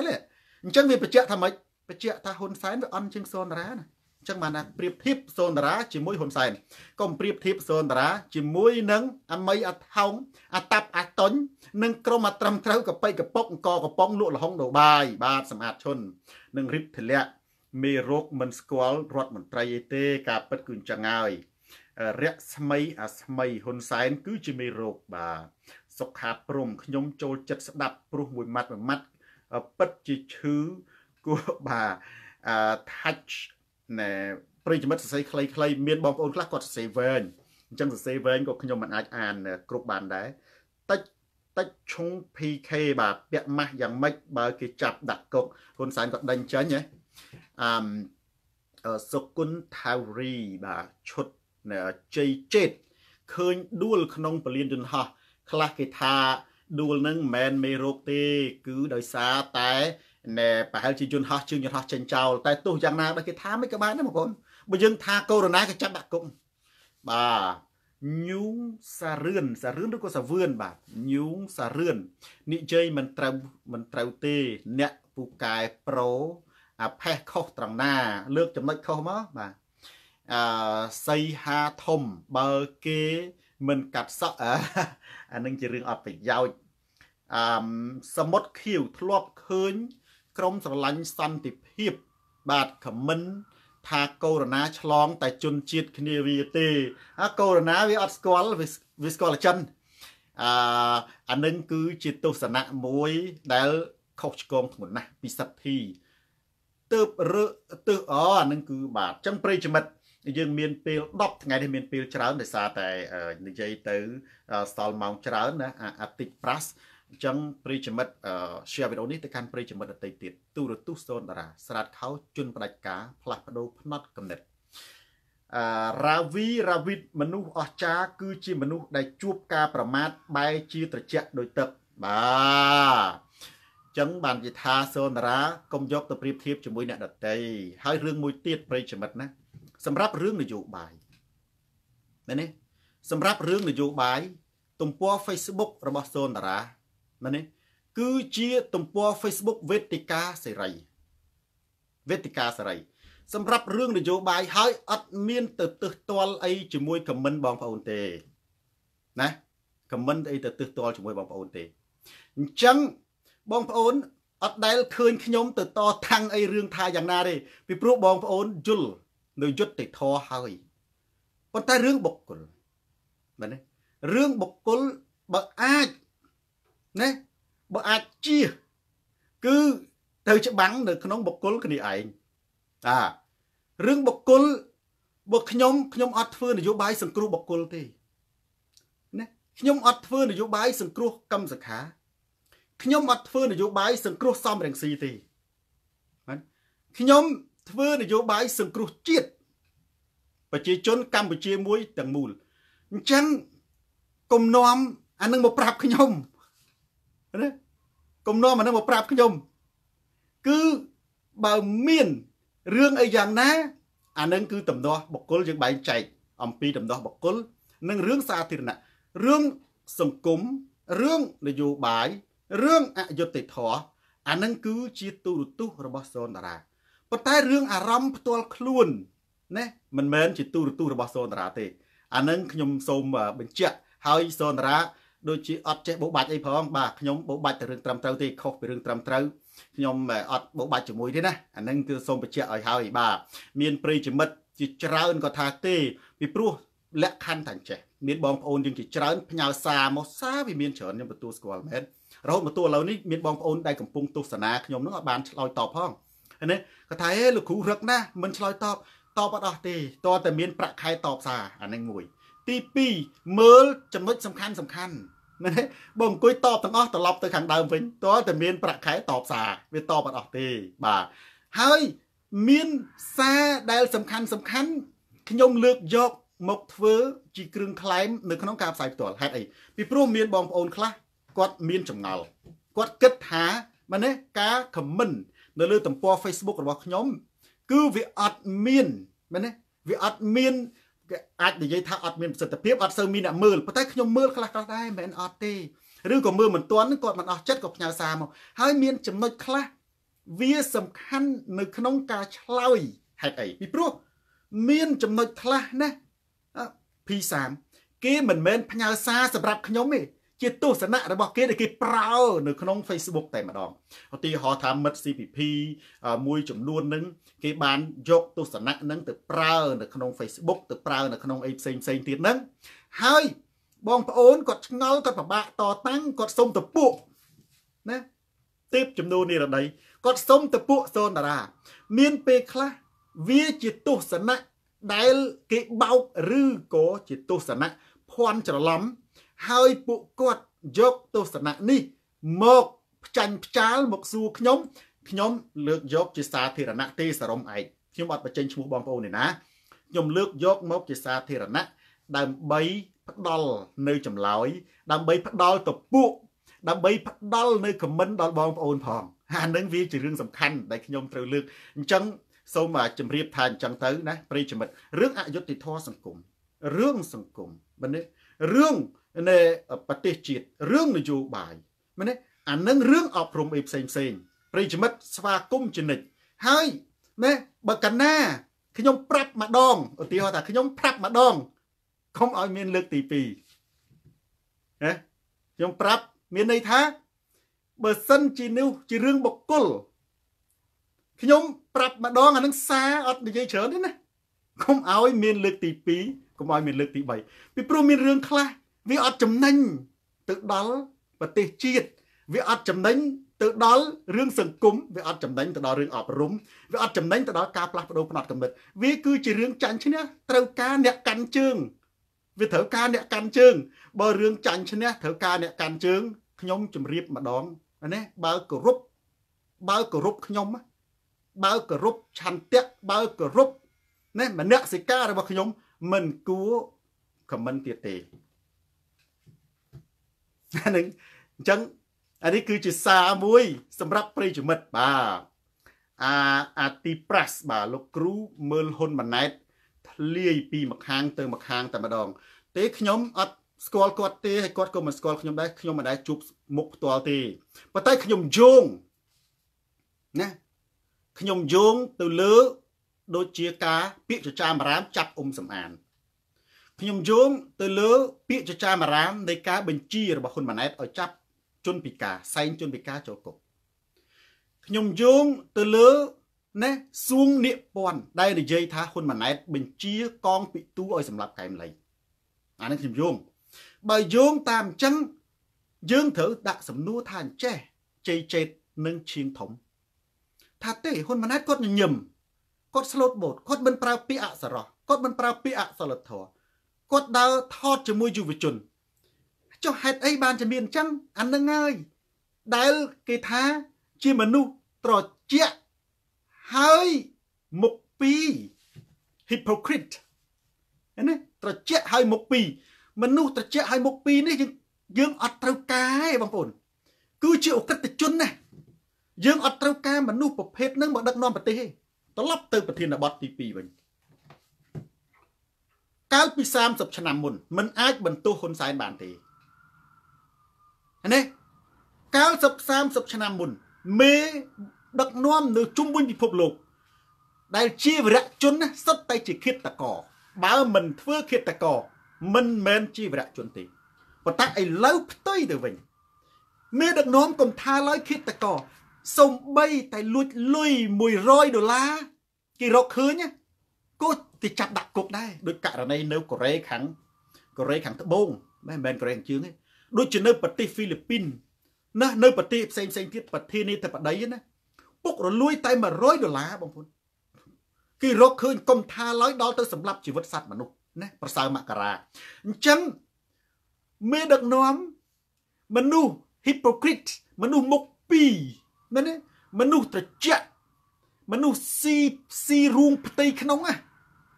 វាសាហាវប៉ុន្តែបើយោងតាមសម្ដេចក្រឡាហោមសោខេនារាកកដាគឺវាជាកតជនវាមិនគួរឲ្យមនុស្សប្រភេទហ្នឹងជាមេដឹកនាំទេ ហើយដើម្បីជៀសមនុស្សប្រភេទហ្នឹងជាមេដឹកនាំបាន វាទាល់តែផ្ដល់អំណាចឲ្យប្រជាជនណាយកប្រទេសកម្ពុជាមកឲ្យប្រជាជនហេតុអីបើ ប្រជាជនអត់អំណាចណាតើប្រជាជនសម្រេចយ៉ាងដូចម្ដេចអញ្ចឹងបានជាយើងធ្វើនេះណាមិនទៅសង្គ្រោះកម្មសខាមិនទៅសង្គ្រោះសំរងស៊ីទេសង្គ្រោះគណៈបកនៅប្រទេសជាតិដែលដឹកនាំដោយសំរងស៊ីកម្មសខាបើយើងសង្គ្រោះតែបុគ្គលតើរួចទេមែនទេយើងត្រូវសង្គ្រោះគណៈបកនិងសង្គ្រោះលទ្ធិប្រជាធិបតេយ្យយកអំណាចមកឲ្យប្រជាជន ហើយប្រជាជនសម្រេចនឹងហើយដែលប្រជាជនសម្រេចថាគាត់រើសយកមេដឹកនាំសាហាវណា មួយមេដឹកនាំដែលគិតតកឬក៏រើសយកមេដឹកនាំស្រឡាញ់ជីវិតមនុស្ស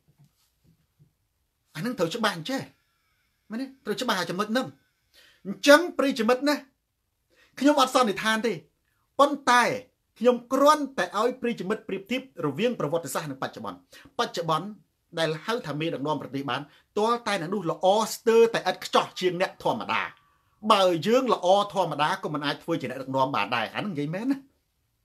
ណាធម្មតាចេះប្រិយមិត្តបើយើងនិយាយពីបាល់ទាត់ក្រុមណាដែលទាត់ខ្លាំងជាងគេអានឹងកាន់ពៀនបើនិយាយអំពីបដាល់អ្នកណាដែលដាល់ខ្លាំងជាងគេនៅនឹងណាឡើងកាន់ពៀនបើនិយាយពីរត់អ្នកណារត់លឿនជាងគេអានឹងគឺកាន់ពៀនបើនិយាយប្រកួតជេអ្នកណាជេខ្លាំងជាងគេអានឹងវាកាន់ពៀនដូចខំវាសនាហ្នឹងនេះដែលហៅថាបាក់ជេវាតតែមេបាក់វាជេខ្លាំងជាងកូនចៅអញ្ចឹងបើថាមេដឹកនាំ វាតតែនឹងវាល្អជាងគេវាអស្ចារ្យជាងគេបើថាមេដឹកនាំអ្នកនឹងវាជាគិតតកអានឹងកាលពី1000ឆ្នាំមុនកាលពី30ឆ្នាំមុនយើងទទួលយកប៉ុន្តែឥឡូវយើងអត់ទទួលយកទេបាទហួតសរុនក្តៅស៊ីរៈត្រជាក់ស៊ីជ្រៅហ៊ុនម៉ាណែតបាទផៃហានអឺអើផៃហានហ៎ផៃគេអាសូនរា អាអាឆ្កែអេមើលមិនដឹងបាទឆ្កែរួមខ្លីតើខ្ញុំសក់វែងអឺរងកៃបាទអរគុណសន្តិភាពនាំមេរុកឆ្លងសម្រាប់ខ្មែរប្រសើរមករាកឹមសុខាចប់ហើយដោយសារអអត់ទេបាទខ្ញុំបានបញ្ជាក់ឲ្យខ្ញុំនៅ តែដើរតាមនឹងគ្រប់គ្រងកម្មសិក្ខាជានិច្ចដរាបណាគាត់នៅតែទៀមទាយកគណៈបកសង្គ្រោះជាតិដរាបណាគាត់មានឆន្ទៈសង្គ្រោះគណៈបកសង្គ្រោះជាតិ សង្គ្រោះលទ្ធិប្រជាធិបតេយ្យបញ្ចប់របបផ្ដាច់ការអានឹងខ្ញុំនៅតាមគាត់ជានិច្ចប៉ុន្តែបើសិនជាគាត់ផ្ទុយពីនឹងខ្ញុំអត់តាមទេហេតុអីមិនថាចឹងពីព្រោះខ្ញុំអត់សង្គ្រោះបុគ្គលណាគឺខ្ញុំសង្គ្រោះជាតិនិងសង្គ្រោះសេរីភាពប្រជាជនកម្ពុជាទូទាំងប្រទេស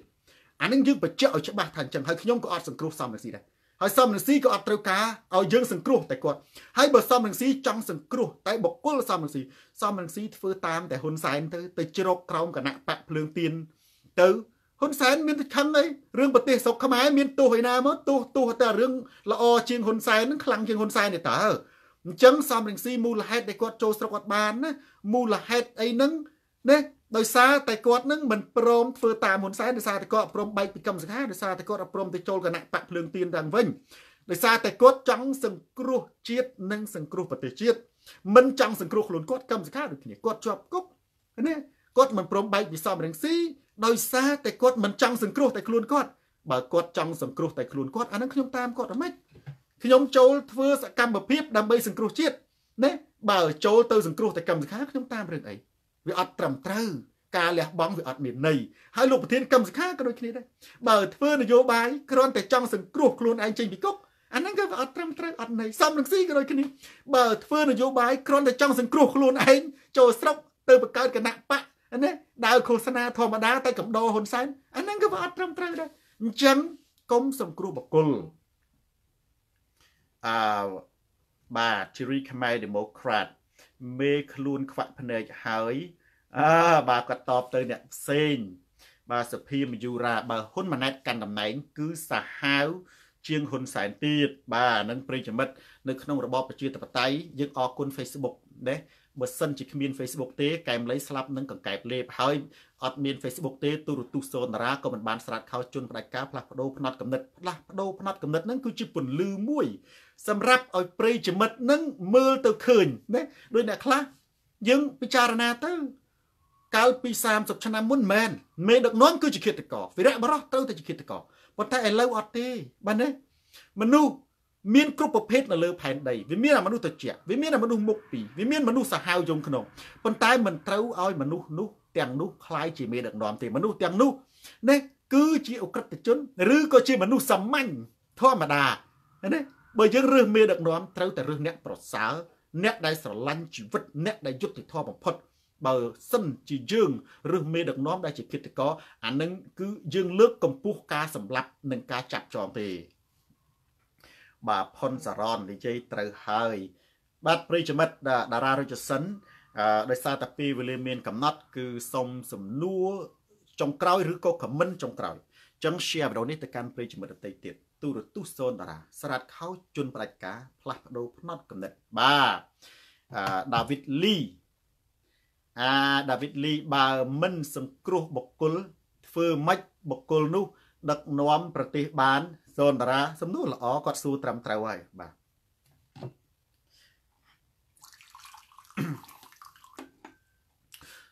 ខ្ញុំថាកុំសង្គ្រោះតែបុគ្គលត្រឹមត្រូវណាស់បើមិនសង្គ្រោះបុគ្គលធ្វើមិនដេចសង្គ្រោះបុគ្គលនោះអាចទៅដឹកនាំប្រទេសបានត្រឹមត្រូវប៉ុន្តែចាំពាក្យសូនតារាថា កុំសង្គ្រោះតែបុគ្គល មានន័យថា ត្រូវសង្គ្រោះបុគ្គល ដើម្បីឲ្យបុគ្គលនោះទៅសង្គ្រោះជាតិគាត់សួរត្រូវហើយបើមិនសង្គ្រោះបុគ្គលធ្វើដោយម្ដេចទើបអាចទៅសង្គ្រោះជាតិបាន ត្រូវបើបុគ្គលនោះគេសង្គ្រោះដើម្បីឲ្យគាត់ទៅសង្គ្រោះជាតិបើគ្រាន់តែសង្គ្រោះយកទៅដាក់តាំងលំអឬក៏ឲ្យរួចខ្លួនដើរផឹកកាហ្វេអាហ្នឹងមិនមែនសង្គ្រោះបុគ្គលដើម្បីទៅសង្គ្រោះជាតិទេសង្គ្រោះតែបុគ្គល ហ៊ុយដួង មានទូរទស្សន៍សូនតារាដរាបណាហ៊ុនសែននឹងបពពុវិលវិលមុខឈឺក្បាលរហូតទូរទស្សន៍សូនតារាបានតែហ៊ុយដួង ស្រាតខោជន់ផ្ដាច់ការផ្លាស់ប្ដូរផ្នត់កំណត់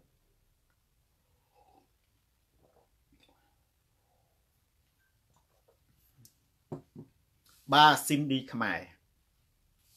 When will you come to the US ឆ្នាំក្រោយបាទឆ្នាំក្រោយចូលឆ្នាំ បាទចូលឆ្នាំខ្មែរ ទៅសហរដ្ឋអាមេរិកប្រសើរមករាអា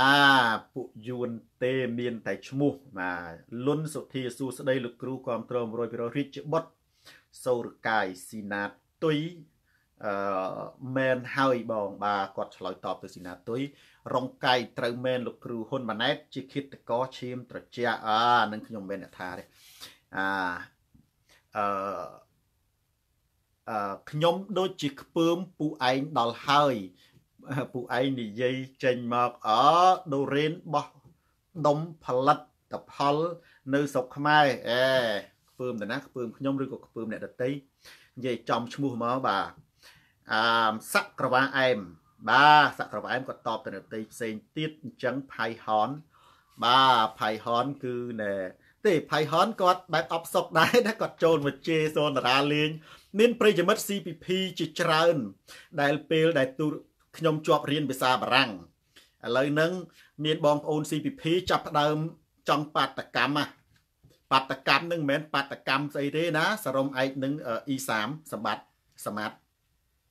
គឺគាត់ចង់តវ៉ាថាគាត់អបសុកណាស់ទូរទស្សន៍សូនតារាតែមួយគត់ជួយកំដរឲ្យគាត់នឹងសម្រាប់ពេលវេលា ពីព្រោះពេលល្ងាចឡើងបងប្អូន Facebook បងប្អូន CPP មួយចំនួនបើអត់ទូរទស្សន៍សូនតារាទេគាត់ scroll ចុះ scroll ឡើងដដែលដដែលទេបើអ្នកមានគូមិនអីទេណាបើ CPP ខ្លះគាត់នៅឆ្ងាយពីប្រពន្ធនៅឆ្ងាយពីប្តីខ្លះអត់មានគូផង drama 10នាទី drama មួយ20នាទី drama មួយណាបារ៉ែនសូហើយបើសិនជាបាន Facebook សូនតារាធ្វើការផ្សាយផ្ទាល់រាល់ថ្ងៃហ្នឹងគាត់ដឹងតែម៉ោង9 ដល់ច្រំចប់ម៉ោង10កន្លះ10កន្លះតម្រាំងូចទឹកតម្រាំរៀបចំអីហើយទៅម៉ោង11ដល់ម៉ោងដេកល្មមបាទបើនៅបើអត់មានទូរទស្សន៍សូនារាទេគឺគាត់វិលមុខយើងត្រូវទៅសួរថាចុះទូរទស្សន៍គណៈបកប្រជាជន50ប៉ុស្តិ៍កុំថាឡើយប្រជាជនដែលមានការយល់ដឹងខ្មែរអង្គរសំបីតែទូរអ្នកគ្រប់គ្រងគណៈបកប្រជាជនក៏គាត់មិនទៅខ្ចីមើលអាទូរទស្សន៍ហ្នឹងមិនចឹង ចូលជេសូនរាវាសបាយជាងណែបងប្អូនជេសូនរាក៏បាត់ការអបសុកដែរណាជេសូនរាប្រមាណហ្នឹងបងប្អូនមួយចំនួនដែលគ្រប់គ្រងសូនរាខ្ញុំច្រើនមើលត្រឹម10នាទីទេបាទពូឡុងនិងសូរិយាស្រីខ្មែរ Happy Pal ប៉ុន្តែដូចជាបងហននេះខ្ញុំមើលឃើញពីដើមរហូតដល់ចប់ល្អ ទោះជាយ៉ាងណាក៏ដោយប្រិយមិត្តមនុស្សយើងមិនមែនខួរក្បាលដេកគោលទេមនុស្សយើងមិនមែនខួរក្បាលកថោទេទោះយ៉ាងណាក៏ដោយនេះយើងនិយាយតែការពិតនិងសច្ចធម៌ទៅរឿងគេយល់និងមិនយល់ជារឿងធម្មតាដូច ព្រះពុទ្ធសំដែងធម៌អញ្ចឹងมันអាចតម្រូវចិត្តមៀគ្មាននរណាទៅគ្រប់គ្រង100%ទេអ្នកដែលចង់ឲ្យគេគ្រប់គ្រង100%គំនិតឈួតទេខ្ញុំអត់ប្រាថ្នាទេផាណាលឹមខ្ញុំអត់មានប្រាថ្នាថាអ្នកនឹងត្រូវតែគ្រប់គ្រងសូនារា100%ទេប៉ុន្តែក៏ខ្ញុំគ្រាន់តែប្រាប់ថាចេះអាគ្នាចូលមកជេរហ្នឹងណាក៏ចាត់ទុកជាបាត់ការអបសុកមួយដែរបើអត់មានទូរទស្សន៍សូនារាទូទូរស័ព្ទមក scroll ទៅលើមកក្រោមទៅលើមកក្រោមទៅលើមកក្រោមអបសុកណាបងប្អូនណាខ្ញុំនិយាយប្រាប់បងប្អូន CVP ក៏អបសុកមែនតើអញ្ចឹង ទោះយ៉ាងណាក៏ដោយយើងធ្វើប៉ុនទៅមិនបាច់ទីសគុណមកវិញទេគ្នាជាក៏ជាគុណសម្បត្តិមួយដែរអរគុណប្រិយមិត្តដោយសារតែពេលវេលាមានកំណត់ខ្ញុំសូមបញ្ចប់ការផ្សាយផ្ទាល់តែត្រឹមនេះចុះប្រិយមិត្តសាមគ្គីខ្មែរដើម្បីប្រជាធិបតេយ្យនិងវ៉ាន់ឌីពៅ share វីដេអូនេះទៅកាន់ប្រិយមិត្តដទៃទៀតទូរទស្សន៍សូនតារាទៅដល់ទីណាការផ្លាស់ប្ដូរផ្នត់កំណត់ទៅដល់ទីនោះការផ្លាស់ប្ដូរផ្នត់កំណត់ទៅដល់ទីណាការយល់ដឹងទៅដល់ទីនោះការយល់ដឹងទៅដល់ទីណាហ៊ុនសែនចប់ទៅដល់ទីនោះ ស្ដាប់សូនតារាកើនប្រាជ្ញា ស្ដាប់ខឹមវាសនាកើតខួរក្បាលឌីសស្ដាប់ហ៊ុនសែនកើតរកចិត្តទូរទស្សន៍សូនតារាស្រាតខោជន់ផ្ដាច់ការផ្លាស់ប្ដូរផ្នត់កំណត់បាទជាចុងក្រោយនេះអឺថ្ងៃនេះមិនភ្លេចអរគុណប្រិយមិត្តទូរទស្សន៍សូនតារាអឺដែលបានផ្ញើកាដូអាវបាទអាវគេផ្ញើកាដូមកហើយនឹងប្រិយមិត្តនៅប៉ារីប៉ារីគាត់ផ្ញើចិញ្ចៀន មិនជៀនពេជ្រទេនេះគឺជៀនមានឈ្មោះសូនារាទេហើយខ្ញុំសូមអរគុណប្រិយមិត្តដែលបានគ្រប់គ្រងនិងលើកទឹកចិត្តដល់ទូរទស្សន៍សូនារាស្រាតខោជន់ផ្ដាច់ការផ្លាស់ប្ដូរផ្នត់កំណត់អញ្ចឹងយើងជួបគ្នាសាជាថ្មីម្ដងទៀតនៅថ្ងៃក្រោយ តាមពេលវេលានិងម៉ោងដដែលសូមអរគុណសូមជម្រាបលារាត្រីសួស្តី